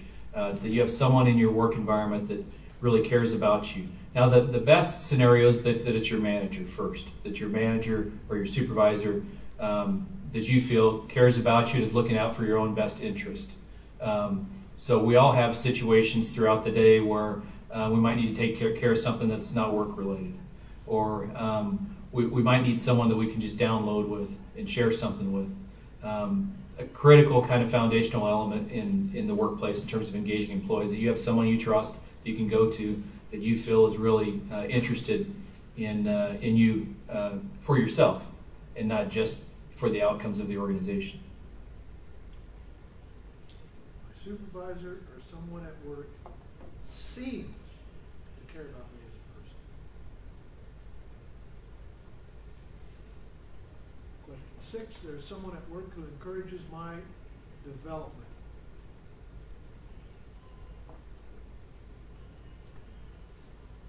Takes it a bit further about thinking about each individual's future in their development. And one of the most important elements that we ask about is that, that there's someone who's thinking about where you're headed in the organization and is, is kind of getting uh, people done through work, um, as Don Clifton used to say.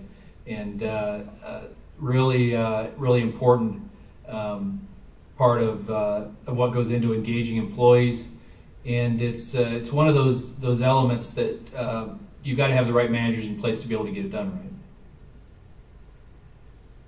There's someone at work who encourages my development, and remember he said it's best on both of those last two if it's your boss, not somebody else. At work, my opinion seems to count.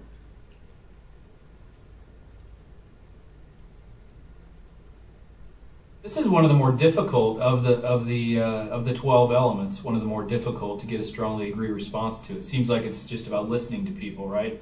Well, it's a bit more than that. It's it's uh, listening to people in the context of how uh, the work they're expected to do is getting done, and how the organization expects them to do their jobs. And so um, we found that when people know what's expected of them and their opinions count, the opinions are even more relevant. And to get people's opinions that are really close to the action, close to the customers, is essential. A lot of times that gets overlooked and things get kind of just handed down in the organization. But uh, listening to people close to the action brings some clarity. It brings some uh, new information that helps uh, helps uh, managers and leaders make better business decisions.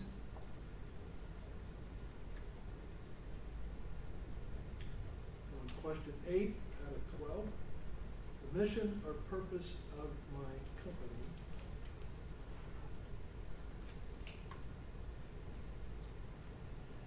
Some people in some industries start, they join organizations because they feel they get really excited about the mission or purpose of the organization. We found that one becomes even more relevant though if you have some of those first more foundational elements in place, uh, because then, then the mission takes on a new dynamic where they can actually um, actualize on their mission or purpose. Now, kind of embedded in that one is uh, another element of human nature around just wanting to be a part of a tribe. Uh, we all have a need inherently to be a part of some tribe. Now, for many of us, it might be a sports team, it might be uh, a church, it, or a religious organization, or it might be a club of some type. But why not the organization? In fact, we found the most uh, dynamic organizations have a sense of, of tribalism where people feel they're part of something bigger than themselves. And, uh, and so that's, that's another critical element, and it taps into a pretty important aspect of human nature.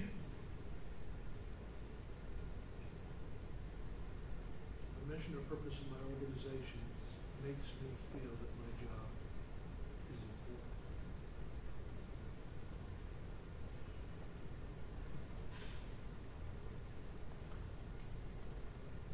You know, early on in our research, we used to ask the question, are you committed to doing quality work? And you might think about the kind of answers we got. Well, we got a lot of strongly agree and agree responses. People, most people will say, yeah, I'm committed to doing quality work.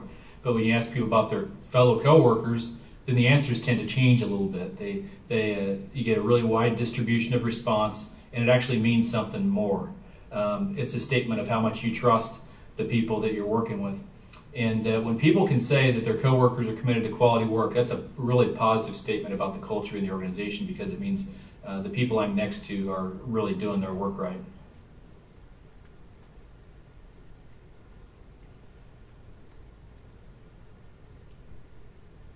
I have a best friend at work.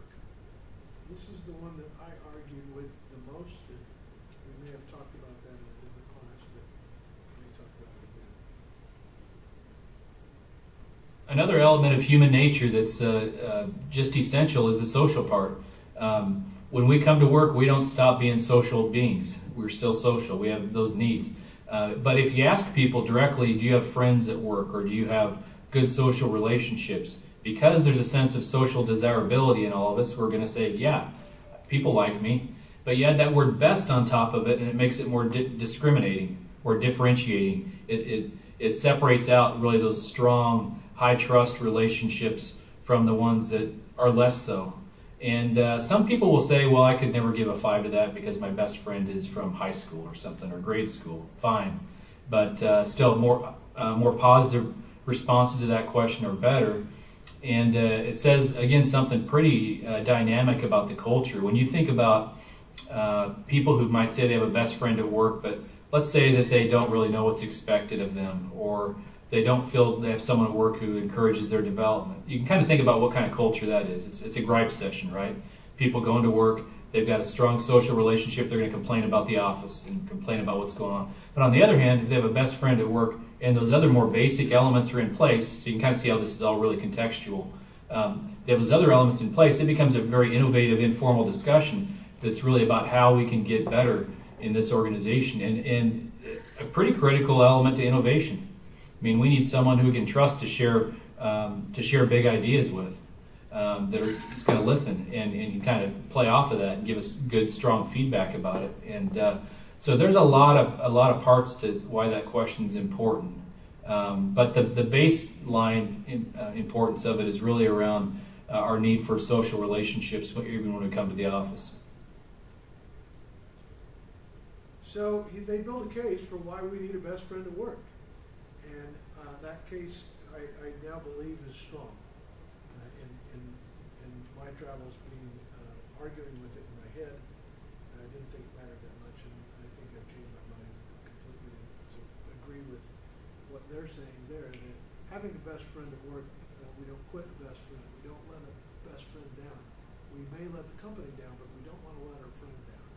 And so that's an engagement hook in, in a way, and it's important to the company, it's important to the friend, and it's important to us, our, our human psyche. In the last six months, has someone talked to me about my progress?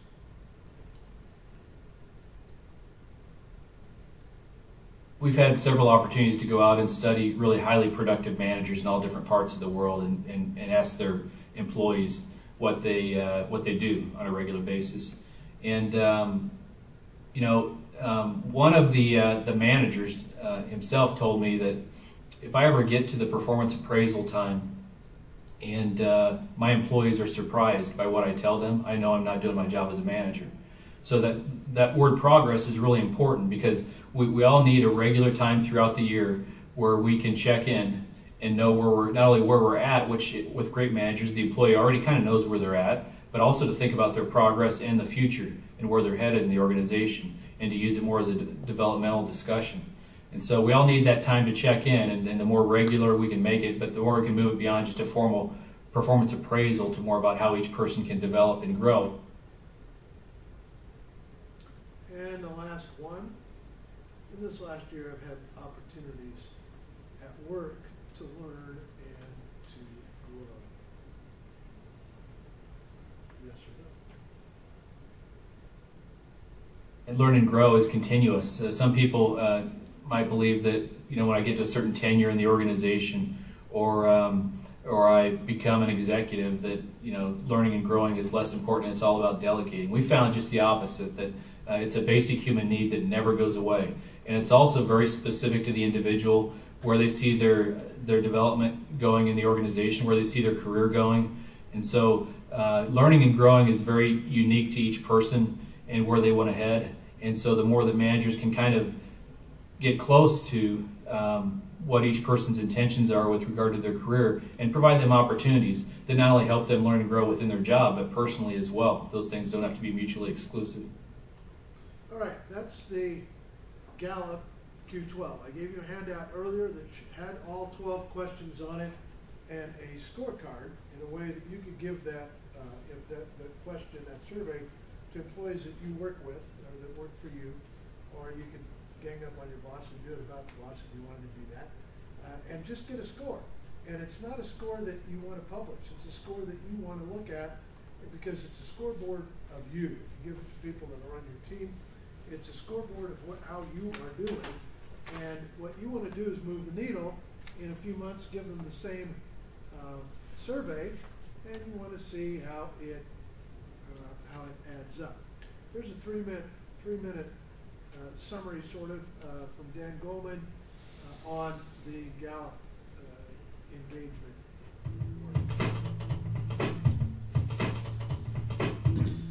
For several years, the Gallup organization has been doing surveys of employees, and they've consistently found, and reported again this year, that only about 30% of employees in a given company are fully engaged in what they're doing. That means that companies aren't getting their best out of people, and that people aren't enjoying what they're doing. We've known about this in psychology for many, many years. It's called the Yerkes Dodson Law. And it's like a bell curve for IQ, uh, with the optimal performance at the top of that curve. On one side, you have people who are underengaged, who are bored. These are the people who are, you know, doing Facebook, video games, who have the button on their computer that lets them push it when the boss is coming. Looks like they're working, but they're not. The other people, though, are overstressed. These are people who have too much to do, too little time, too little support. Neither of those groups, and they're very large groups, are at their best. The remedy for this is not just finding the best leaders or finding the best people. The remedy is learning to continuously improve how leaders lead, how managers manage, and how people do their work. And the good news is that we can continue to improve through life. The brain is continuously adding new neurons. The brain is what's called plastic. It can change at any point. And this is very good news because other data shows that leadership means first leading to manage yourself, your internal state, and that determines how you lead other people. Whether you can inspire them, whether you can motivate them, whether you can listen, whether you can communicate. And leaders who can do that are the ones who get people engaged, who raise that bar from 30% to 40% or even higher uh, for their team, for the people they touch. We know from research at Yale that leaders who are in a very upbeat, positive state, who themselves are engaged, make people on their team engaged, and those teams perform better. Leaders who are not engaged, who are downbeat, who are sour, create that in the people they lead, and their performance goes down. So, given that, given the fact that we know there's a direct relationship between a leader's own state and engagement and those of the people on their team, we need to help leaders get better at being engaged themselves. And the good news is that this can be learned. We have data from Case Western Reserve showing that these abilities, which by the way are the essence of emotional intelligence, can be taught and learned to people in mid career at any point in, in a working life. And we've also found that when people improve on something like being able to inspire, being able to listen and empathize, being able to manage their own emotions, their distressing emotions, and stay in that upbeat, engaged state, when people learn that, going back and asking the people who work with them as much as seven years later, we find that there's leadership. This kind of leadership improvement stays with them. So remember, there's no need to kill the dream of improving at any point in your career. And that's what happens when you think, well, there's no point in people trying to change or improve. We'll just find people who are like that already. Instead, we should be thinking about how to help people get better and better as leaders so that they can keep people engaged in what they're doing. Thing about engagement keeps coming up. I want to switch topics because we're talking about organizational effective, effectiveness and engagement is, is uh, certainly a part of that. Uh, I want to go to one of the other handouts that you have, and I want us to, to talk about it uh, because this is, as we look at at organizational effectiveness, uh, this becomes uh, really the whole name of the game. And the sheet that I want you to look at is this single sheet. It's blank on the back. It says profit model worksheet. I want to talk us through what I call the profit model. And if you look closely on the bottom, uh, I copyrighted this in 1997, so I've been teaching this for a long time. Uh, and and uh, and I've been taking companies through this idea because our, our, our the purpose of our organization is we want to increase our profits.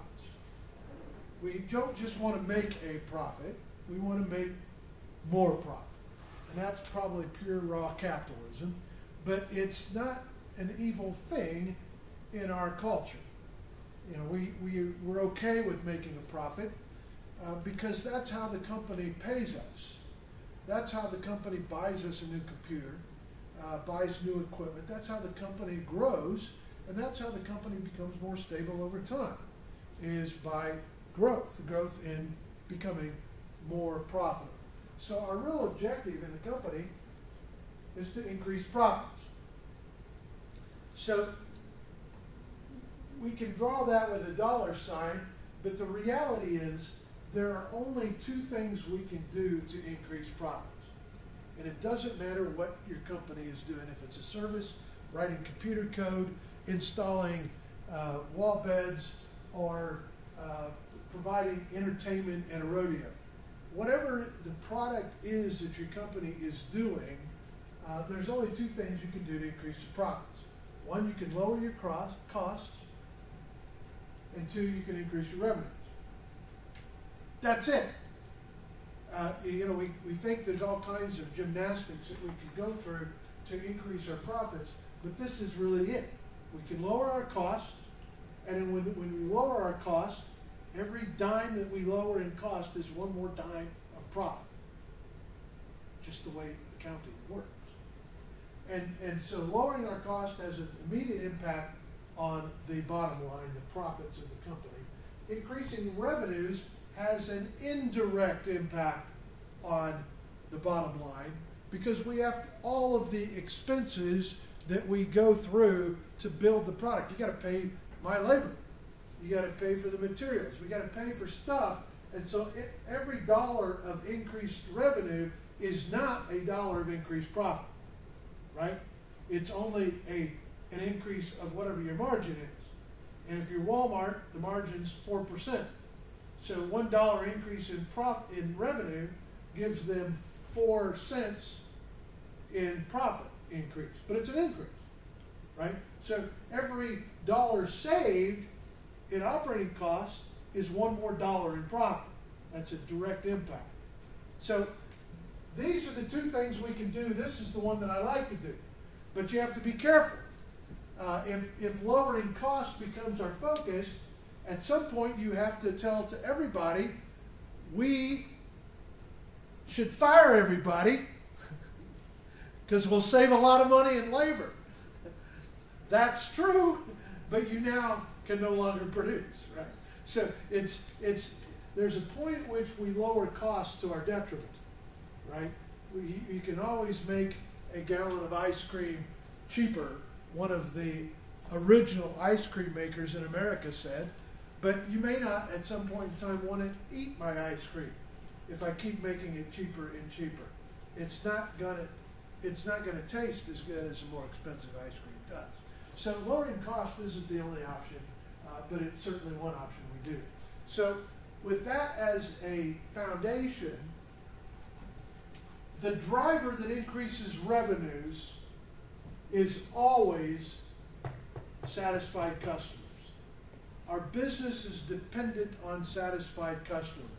Growth is dependent on satisfied customers. We need those five star Google and Yelp ratings. People look at them. We need happy customers in order to increase our uh, revenues. And we need the organization to have its act together in order to lower our costs. We have to be smooth in working together uh, in order to drive costs down. This is called in the, in the Toyota world, this is driving out waste. This is looking for MUDA. In lean manufacturing, lean production, it's don't handle the materials three times. Move the machines close together so we reduce transfer costs. Uh, and so we, it's, it's getting your act together organizationally that allows us to lower our costs. Interestingly enough, when the organization has its act together, that also drives customer satisfaction because you got your act together. And so by by doing things right the first time, customers are more happy. So that's the model. How do we do this? What do we need to look at? What do we need to focus on in order to do it? Uh, let's start with increasing our revenues. And, and there's a few things that we can do to increase revenues. Uh, the first and foremost that I always teach and talk about with small companies especially, let's do the guerrilla marketing. The, um, the American colonies won a war with guerrilla warfare against England, right? We, we understood guerrilla, that hide in the trees and don't wear the bright red coats in a line and you know do stuff like that that is sneaky or free. Guerrilla marketing, YouTube started out with a guerrilla marketing campaign, little round stick, stickers that they sent to everybody that posted a video up. They said, put this sticker somewhere, not in your room. Put it on a lamppost, put it on a street sign, put it on your car. And, and what happened was YouTube built their presence from giving away decals that said YouTube.com. Because when you spell YouTube, it doesn't always come out the right way, right? There's the letter U or the word U, or, you know, there's a lot of ways of doing it. So YouTube spread that around and sold their company for $165 billion. Billion. With a guerrilla marketing campaign that made them, uh, made them household word, right? And, and what, what we see with guerrilla marketing, it's stuff like you know, do the things that don't cost you lots of money that give you uh, market presence. And there's tricks and trades, uh, tricks and, and, and tips of how to do that. Every industry has some.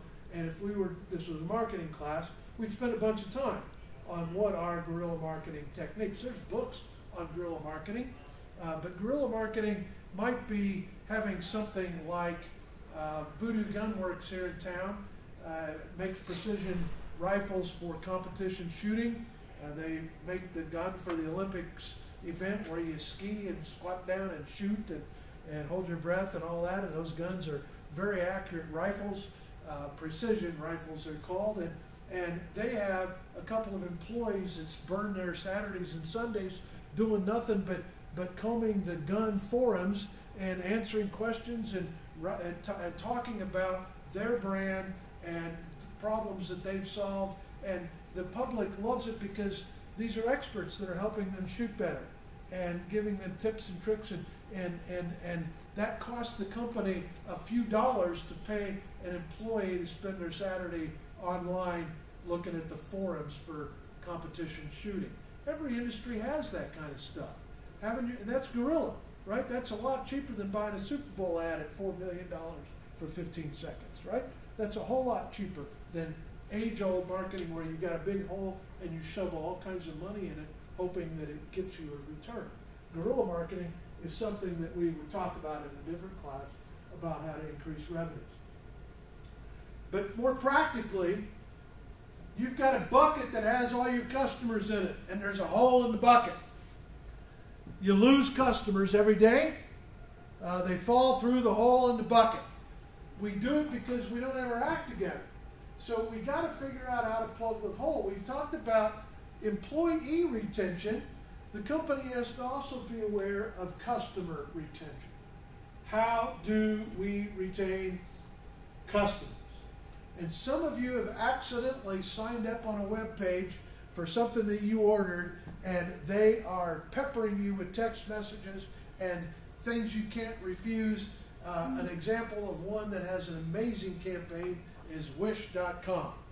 And if you haven't been tangled up in them yet, uh, it's a matter of time till you will be. They have a profound customer retention program. If you make a mistake of buying one thing, you will buy something else sooner or later.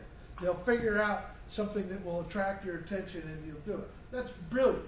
Uh, that's plugging the hole in the bucket because how many times do you buy something from someone one time and you never buy it from them again? That's you fell out of their bucket.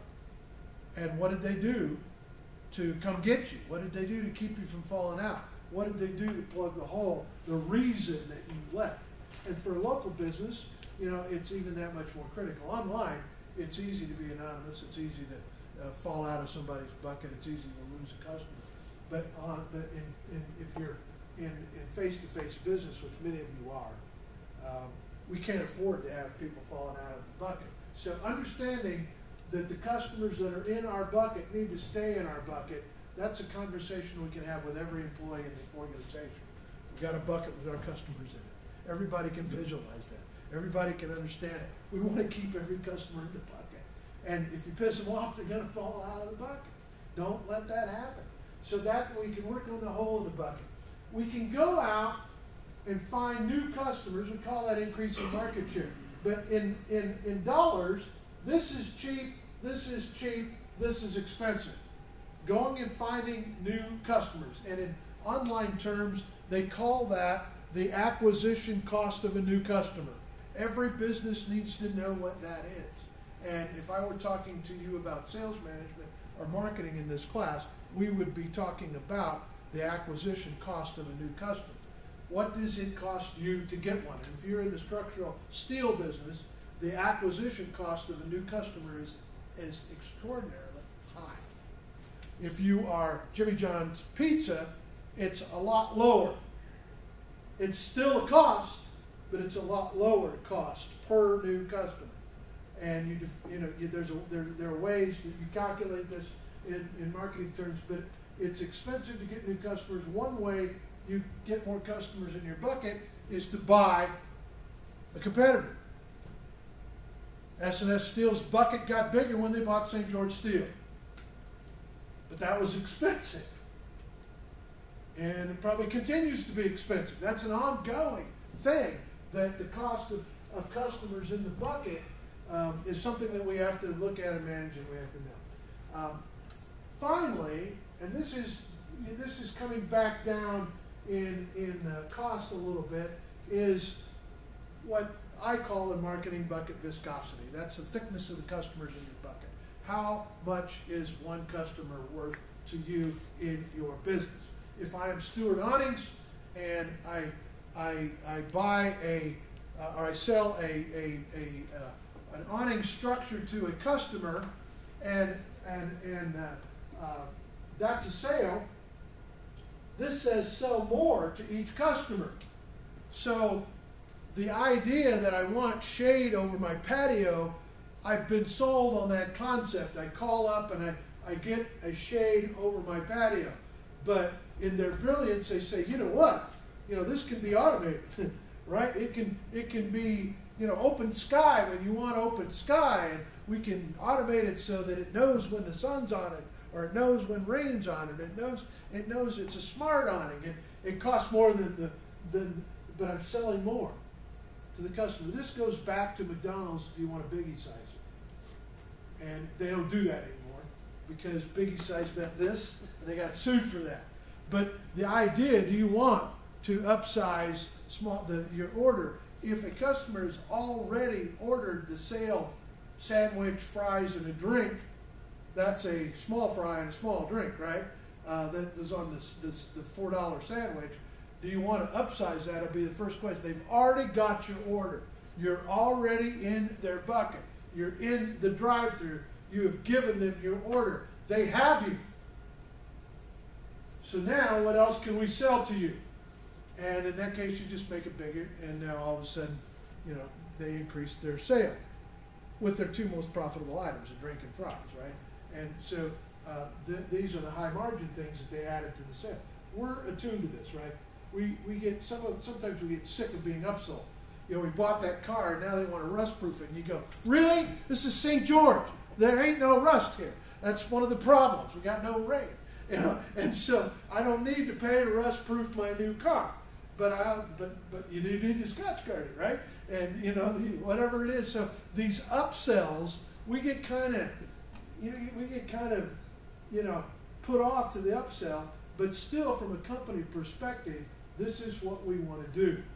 And in the automotive industry, an example would be a few years ago, a five-year lease on a new truck was an appropriate lease. Uh, that became a four-year lease. How come? Because you buy more often. It became a three-year lease. How come? Because you buy more often. It became a two-year lease. How come? Because you buy more often. So that entire lease portfolio that you were flipping once every five years, you're now flipping once every year or two years because you get shorter and shorter leases. That's an instrument that they put us into to get more per customer. And maybe it's a favor to you, but it's a it's a scheme on their part, right? That's what it is. And so if you can put the scheme together on yours without offending the customer, because sometimes it's a favor.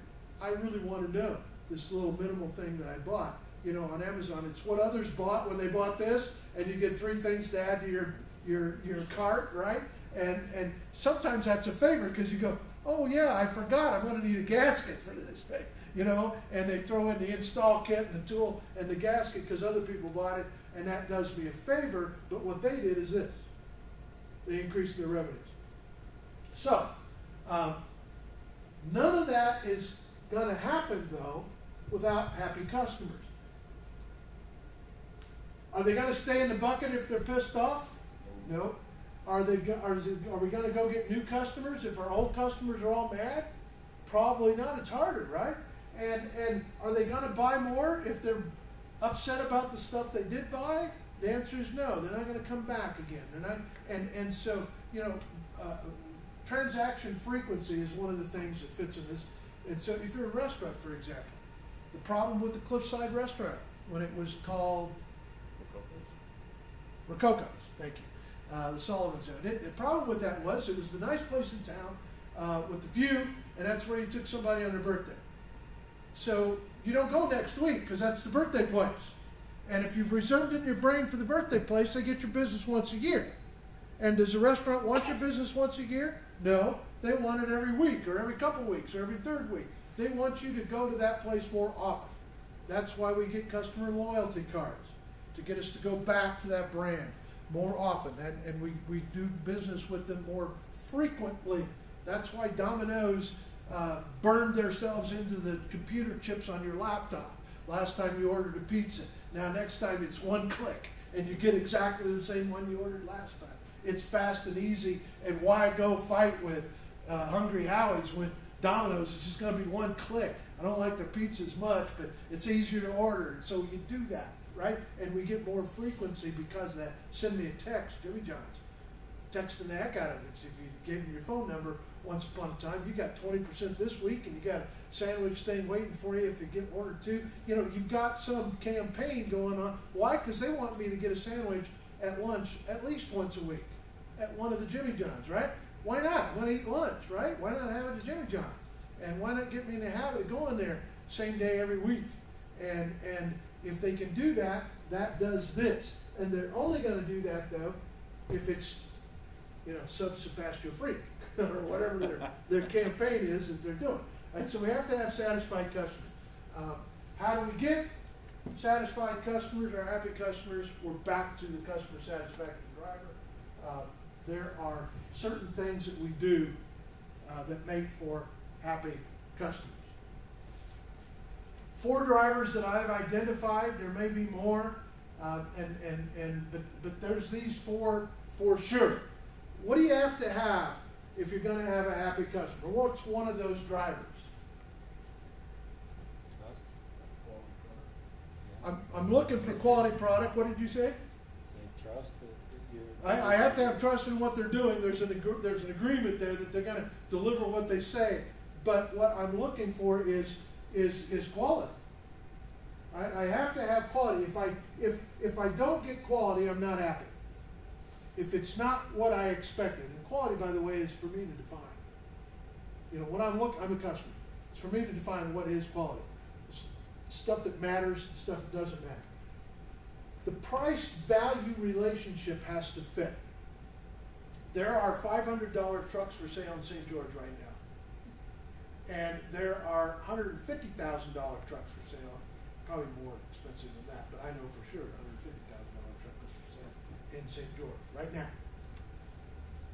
Somebody will buy the $150,000 truck and somebody will buy the $500 truck, and most of us will buy one somewhere in between.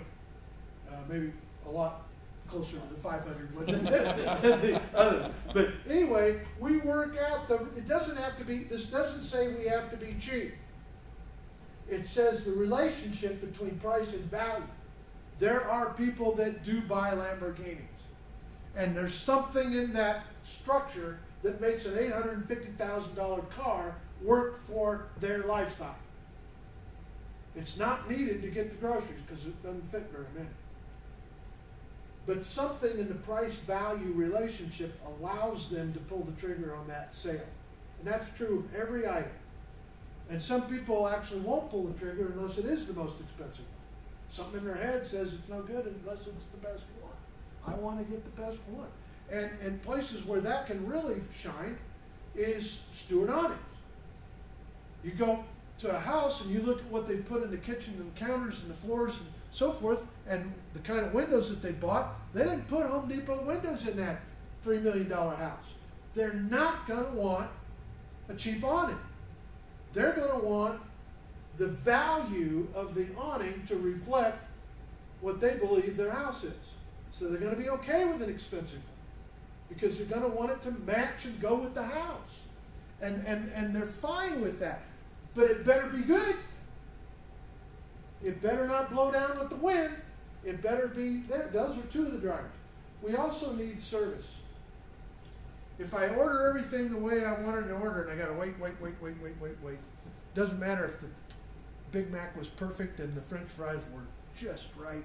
If it took 17 minutes to get them, and the, the person behind the cash register couldn't run the cash register, and they were on their cell phone talking to their girlfriend, and they didn't even acknowledge me for a while, that blew the whole deal. You bought the best beef, you bought, you, you, you priced it right, you, you made it right, but the service didn't back it up. And so this will wreck the customer satisfaction. And finally, there's one more, and I'm gonna let you guess what that is. What is that? Probably has, I hope it's not a bad word, but on-time delivery is what I'm looking for. So if, if, when we had supply chain problems, it, it bothered us all, right? Because you'd order something and we expected toilet paper to be in stock. You know, we didn't think we were going to have to, you know, contract to the plant to have it made by the truck. We didn't think. So on-time delivery has to be within our expectation. It's part of service, but I separated enough because you can get good service and lousy delivery. And if I order a wall bed and we're three months out,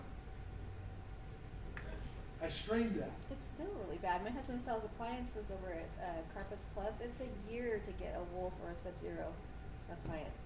Still. And Bosch is so far out on their dishwashers, they said don't even have anyone order one. It's that bad. Wow. It's really bad. Like with appliances, because a lot of the parts are done in China The or control other- boards aren't. Yeah, good. they're not getting done, and the Yeah. chips, computer chips, are just not available. Let's start an appliance business. Do that. We need appliance repair people really bad. That's interesting. hmm That's very interesting, actually. I think they just want me to throw it away and buy a new one. I don't think they want me to repair it at all. If but you when buy you buy a wolf, you have to. I mean, it's too expensive, right? Yeah.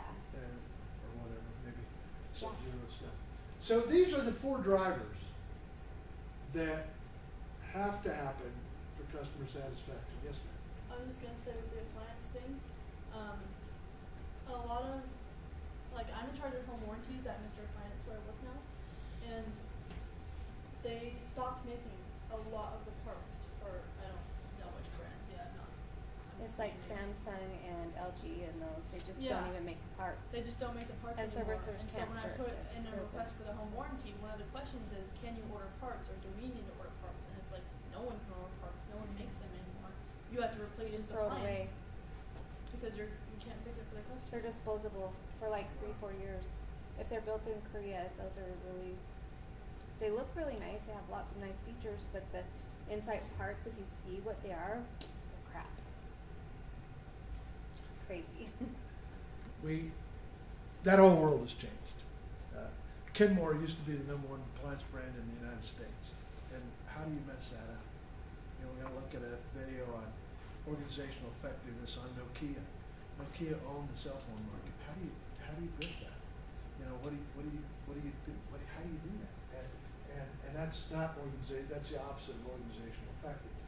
So these are the things that we have to do to have satisfied customers. But honestly, there's not too many things, and there are not too many things that don't make sense. They all make sense to us, and we can explain that to everybody in our organization. These are the things we have to do, and if we can't currently deliver within reasonable expectations, it's not fair for us to say, well, let's just change the public's expectations. That's not okay.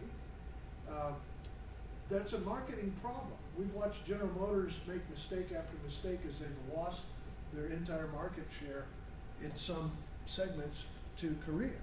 And, and, and we've, you know, how did Hyundai and Kia do that? How did they take GM's business away from us?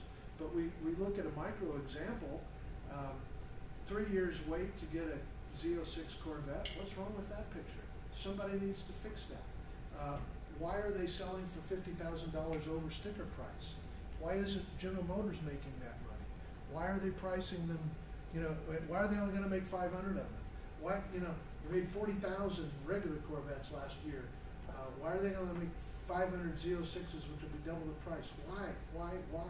I know, like You know, in it's- appliances, I don't know if it's the same thing in the, um, well, I don't know if it's the same thing in the car industry, but in the appliance industry, when COVID hit, they had to redo all of their assembly lines because they had to get the distance between the people.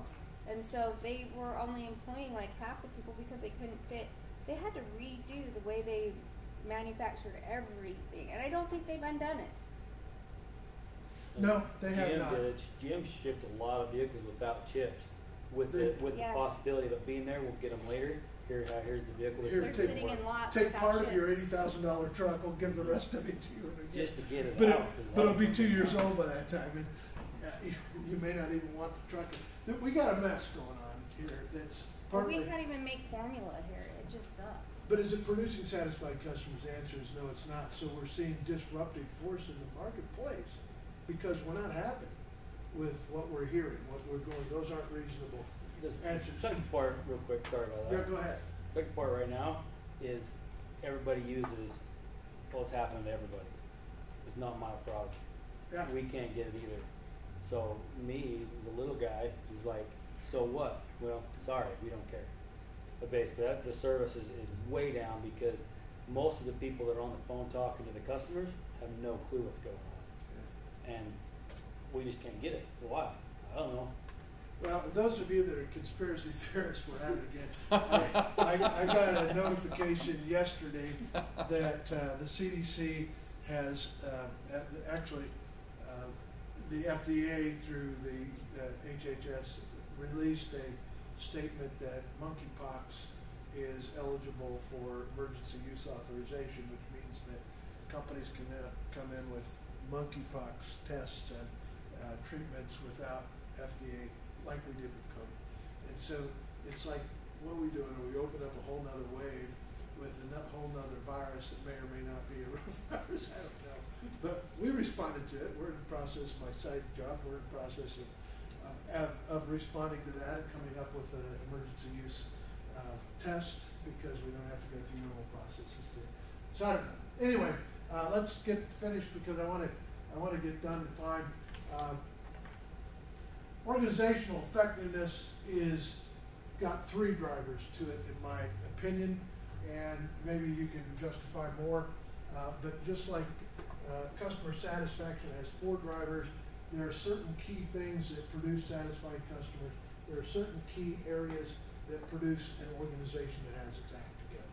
And those things, if we want to look at them closely, uh, the three categories, there's a technical component. That's how well does this organization uh, manage its processes and systems and its flows. And, and by flows there, I mean, how does material flow? How does labor flow? How does finished product flow? How does cash flow? So all of the things that need to flow in an organization, if, if the organization has its act together, these things flow well. If the organization does not have its act together, these things get clogged up. Our processes don't support things in the way we want. We have a behavioral component of the organization. This is how well do we talk to ourselves? How well does one department communicate with another? How well do the teams work? And what is the overall culture of the company? Do we have a fabulous place to work or a nightmare going on? And, and so how does the company behave? Does that make it more effective or does it make it less effective because we're, we're, we're putting out fires because we have people fighting? Or we have uh, departments against each other pushing and shoving and we're not behaving very well. And then the leadership component throughout the organization, but starting at the ownership, how well are they aligned, pulling for the same thing? How much we, do we know about the goals? How well are we planning the strategies of what we're doing and how we're doing it? And how disciplined are we at doing it? So do we put collection procedures in place and then go, ah, he's a friend, he'll pay eventually, and all of a sudden he's, you know, he's aged out six months and then they're not paying their bill. And, and now we have a cash flow beca- problem because we're not disciplined in our credit policy. And, and so the leadership allowed that. And so the organization becomes less effective just because of exceptions that we're doing in any one of these three areas of the organization. Does that make sense? So if we want to fix the company, uh, this gives us some places to look, and we can pass that around to the management team, and we can say, hey, you know, um, I guess I slide things in there uh, for that. Uh, we can say, hey, we can we can work on doing these things. If we have these things together, we can we can start to do a better job of uh, increasing our revenues and lowering our costs. The amazing thing is there's one more hidden driver in that uh, that we would want to draw. And if we have the organization has its act together and we are talking to customers that are delighted the hidden driver is employee satisfaction. I just blew that up again, just so it's big enough to see it, not a hidden driver. So if, if we have our act together here, and we have great customers here that are happy, then employees are happier. And when employees are happier, Bill Walton said, you know, Sam Walton, uh, Bill was a kid. Sam said, um, you know, we, we, if we take care of our employees, the employees will take care of our customers. And that was a true philosophy for once upon a time in, in, at Walmart. Uh, it may not be the policy right now that Sam's gone. But, uh, but we can see that when you've got employees that are disgruntled, we're not capable of, of, of being our best and doing what we need to do. So organizational effectiveness doesn't happen when employees are dissatisfied. and even if you've got a third of your employees that are dissatisfied, or or or fifty percent that are just on the fence, we're not doing our best here. Because if you notice, I drew all of these as gears. What happens in a gear chain when one gear breaks? All stops. The whole thing stops. So if I've got a problem here with leadership or I've got a problem here with quality, this entire thing stops turning.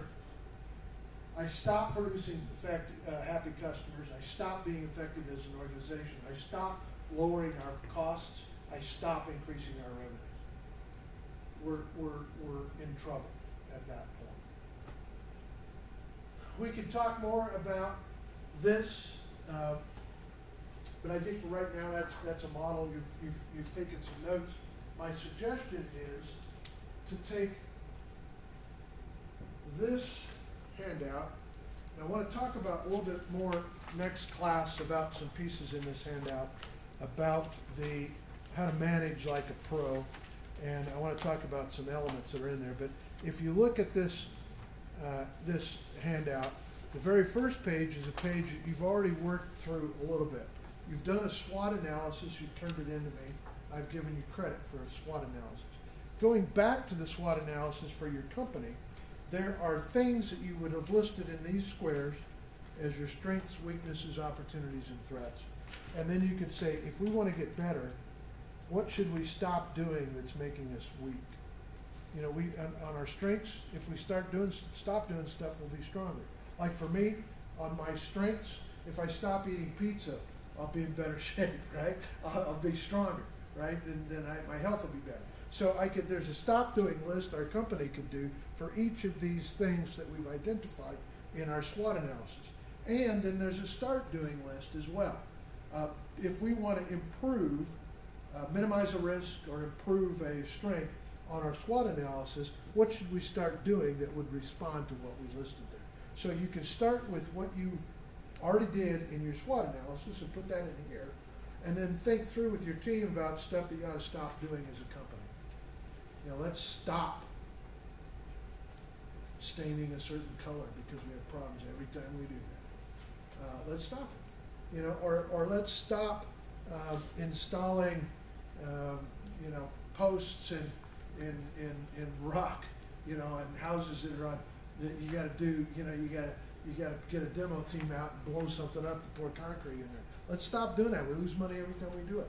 Let's just not do that. Let's find a different way to do that. Let's stop building houses on blue clay. You know, all of Green Springs is blue clay. The contractors that build there know how to put in helical piers, put a solid foundation, and have a house sitting on bedrock that's 30 feet, 40 feet down, and they don't pour regular foundations. Almost every house in Green Springs is built that way. But if you bid on a job to go build over there, you better either learn how to do that or you're going to lose money.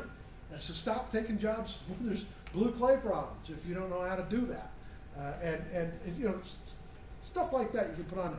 Then we're going to talk about the middle pages later, but going to the last page, you see the profit model analysis. And we have on there the, the, the, the features, the things we talked about, the things that, are, that show up here on this model. You know, and, and, and we've identified things like transaction size. How do we get bigger transaction sizes on what we sell?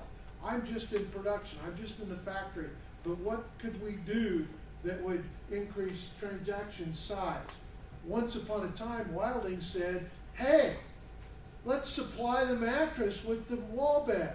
We don't make mattresses, but why not supply it? Why make the customer go find one? Let's deliver it ready to sleep in.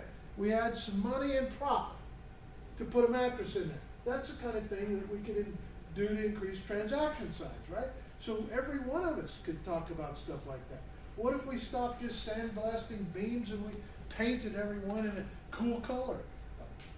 Would customers pay for that? If they would, that would increase transaction size. If they won't, don't do it, right? But, but talk about that. How do we get them to buy more often? How do we go find new customers using guerrilla techniques? Have this conversation with your management team because this matters to everybody. This isn't just the job of the owners or the sales department or the marketing department. It's everybody's job. So have these conversations and that last page kind of guides you through some of that. Uh, at least gives you the items to, to look at and talk about from the bottom. So that leaves us just a few minutes. I want us to look at organizational effectiveness in terms of what if your organization isn't being as effective as it ought to be? Uh, and, and let's talk about causes uh, or, or consequences of that a little bit.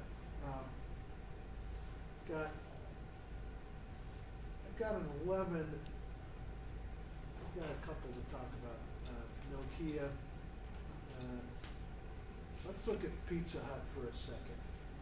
See what you think about Pizza Hut. Uh, and uh, uh, Denver's not here, so we can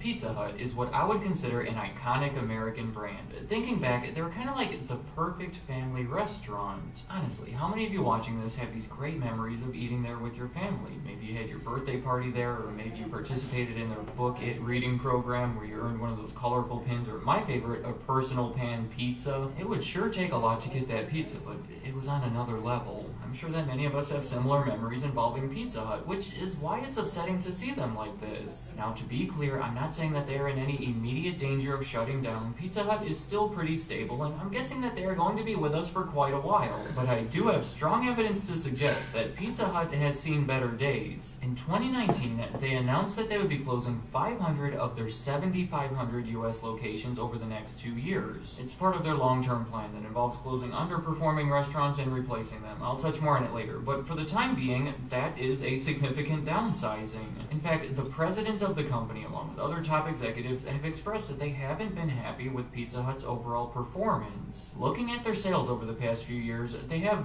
actually been fairly consistent, which may not seem like much of an issue, but it is concerning. See, when we compare that to Domino's, I think we start to see the problem. When they say that no one out pizzas the Huts, I don't exactly know what that means, but it might not be true anymore. In the 1970s and even well into the 1980s, anyone who was around at the time can tell you that Pizza Hut used to be the national pizza chain. They were a national pizza chain before there were national pizza chains. People had to make the choice of either going to the local regional place or to Pizza Hut. Any other popular chain that you can think of today was not a factor on a national scale until at least the 1980s. Then, over those next few decades, things got more competitive. Some of those smaller chains started closing the gap, but Pizza Hut still remained on top. That is until 2018. As we saw in the graph, Domino's took over that number one spot, and over the next few years have only extended that lead. That's meaningful. After 47 years, the world's number one pizza chain, Pizza Hut, has fallen to second place, and a distant second at that. In that same year, 2018, I actually asked the audience of this channel, what is your favorite of the big four pizza chains? And after 46,000 votes, Domino's was the clear winner over the second place Pizza Hut.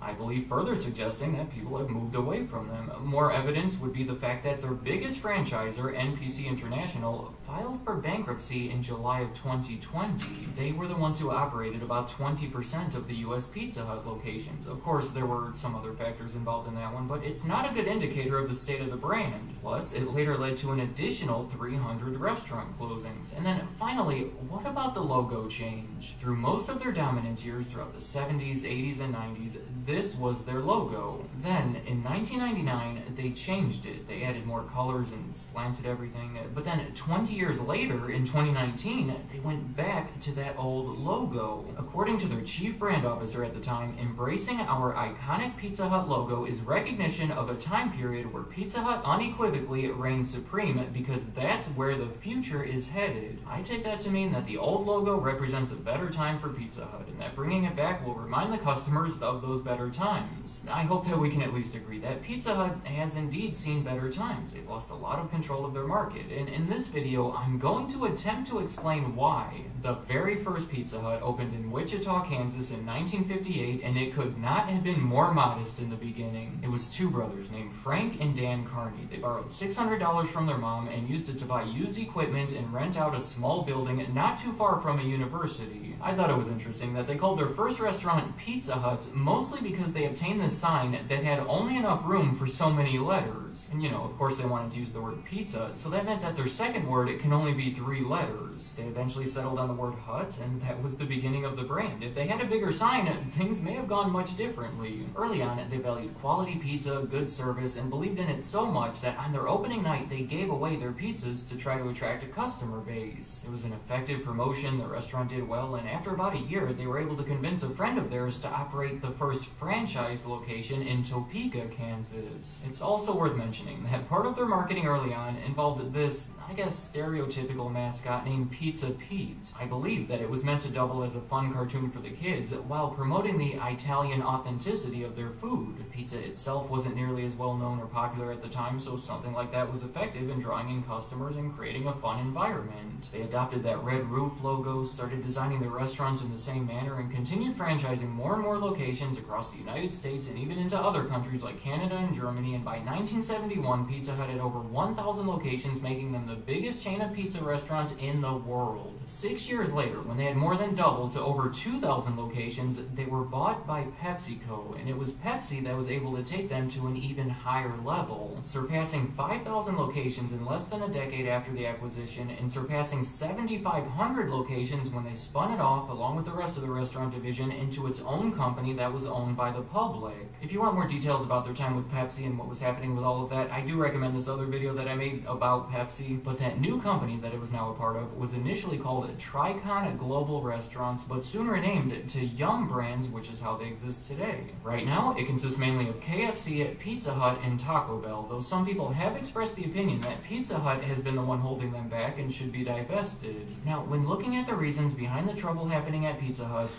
think most of it can be explained by two main issues. The first one being a lack of catchy menu items, and I realize that this might sound so trivial when you first hear it, but let me explain. Today, seemingly every fast food restaurant has a never-ending sequence of new items that are pumpkin flavored or Cheeto flavored or whatever, but Pizza Hut was somewhat of a pioneer at this, to a point where I would even say that these catchy, innovative menu items were once a major part of their success. A couple of examples of what I would consider to be more ones it would be the Edge, with toppings way closer to the edge of the pizza than they should be, or the Big New Yorker, both introduced in the late 1990s. They sold pretty well and kept people coming back to Pizza Hut, but then there's other examples of new menu items that they introduced that I would truly call innovative. Some examples there would be in 1980 when they came out with the pan pizza, or in 1995 when they came out with the stuffed crust pizza, famously promoted by Donald Trump. There are countless examples to show how Pizza Hut once had one of the most creative menus out there, which unfortunately may not be the case anymore. In late 2014, you may be surprised to hear this, but Pizza Hut announced an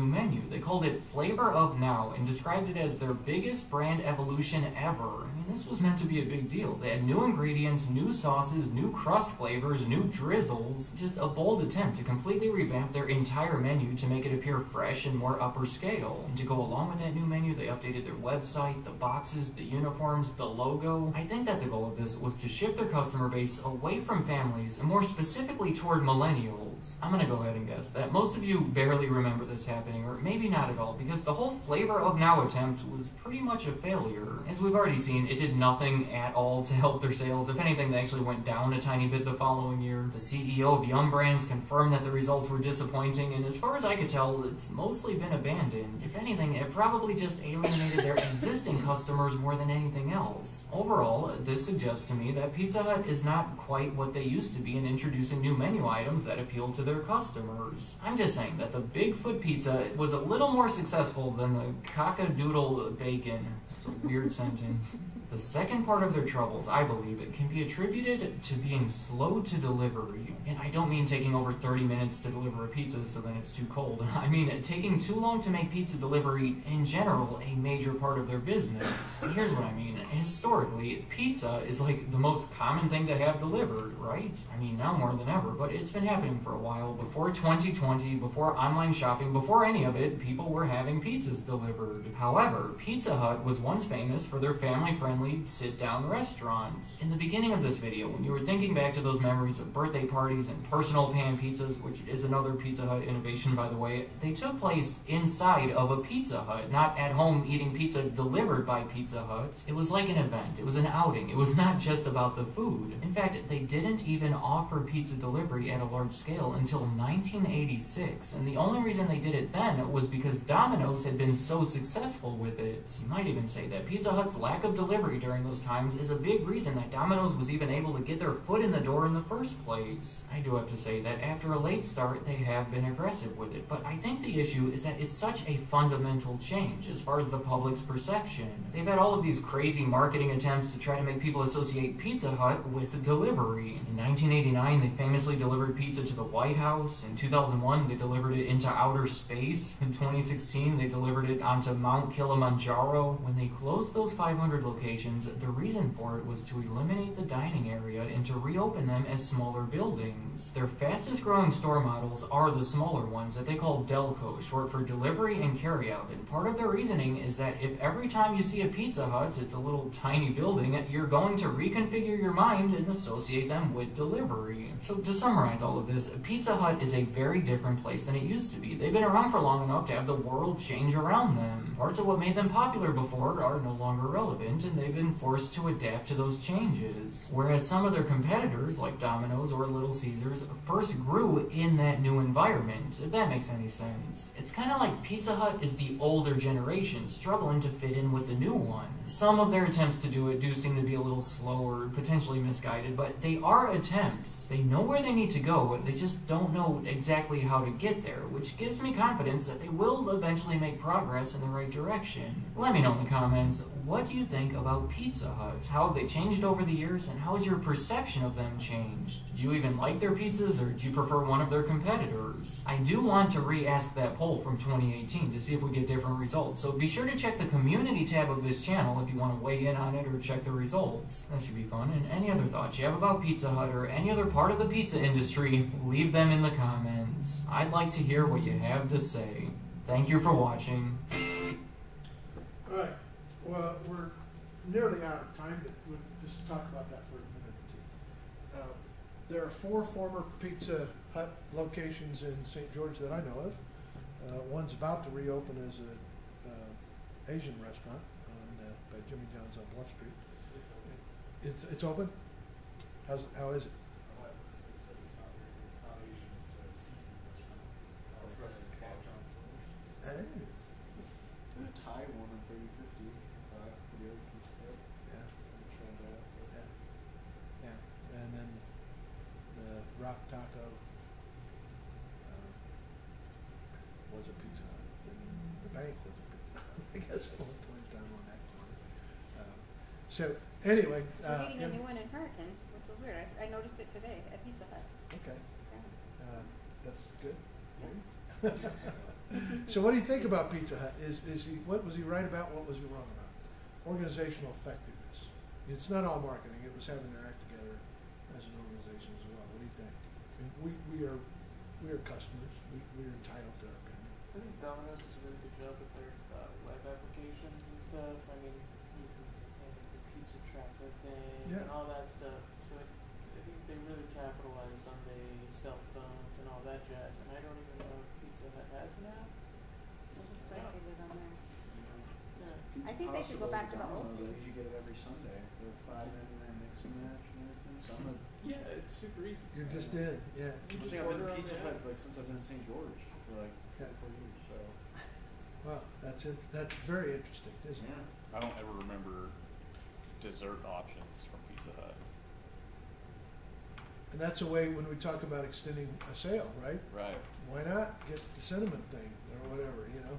kids love it, and it adds another ten bucks to your order, or whatever it is. Lava cakes. or Lava what, cakes, yeah, Their dessert You know, yeah. I don't know. I used to eat at Pizza Hut all the time. I used to stop at that Pizza Hut on my way home from work, grab a stuffed crust pizza, right? I think that once the uh, patent on that ended, done. Now everybody's doing it. Yeah, Stuffed crust made it. Yeah. So- yeah. Me, Yeah. growing up in the '90s, I loved it. It's great.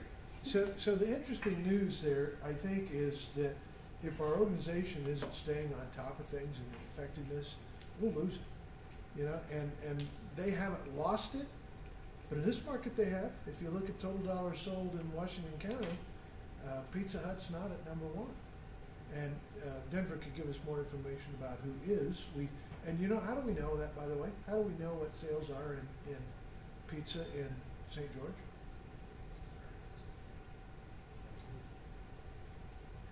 Every company has to pay tax. Sales tax data is public information. So if you are thinking of opening a food truck, find the names of the other ones, see what they paid in sales tax. Now, they may lie, uh, but that's go to jail lie. You shouldn't.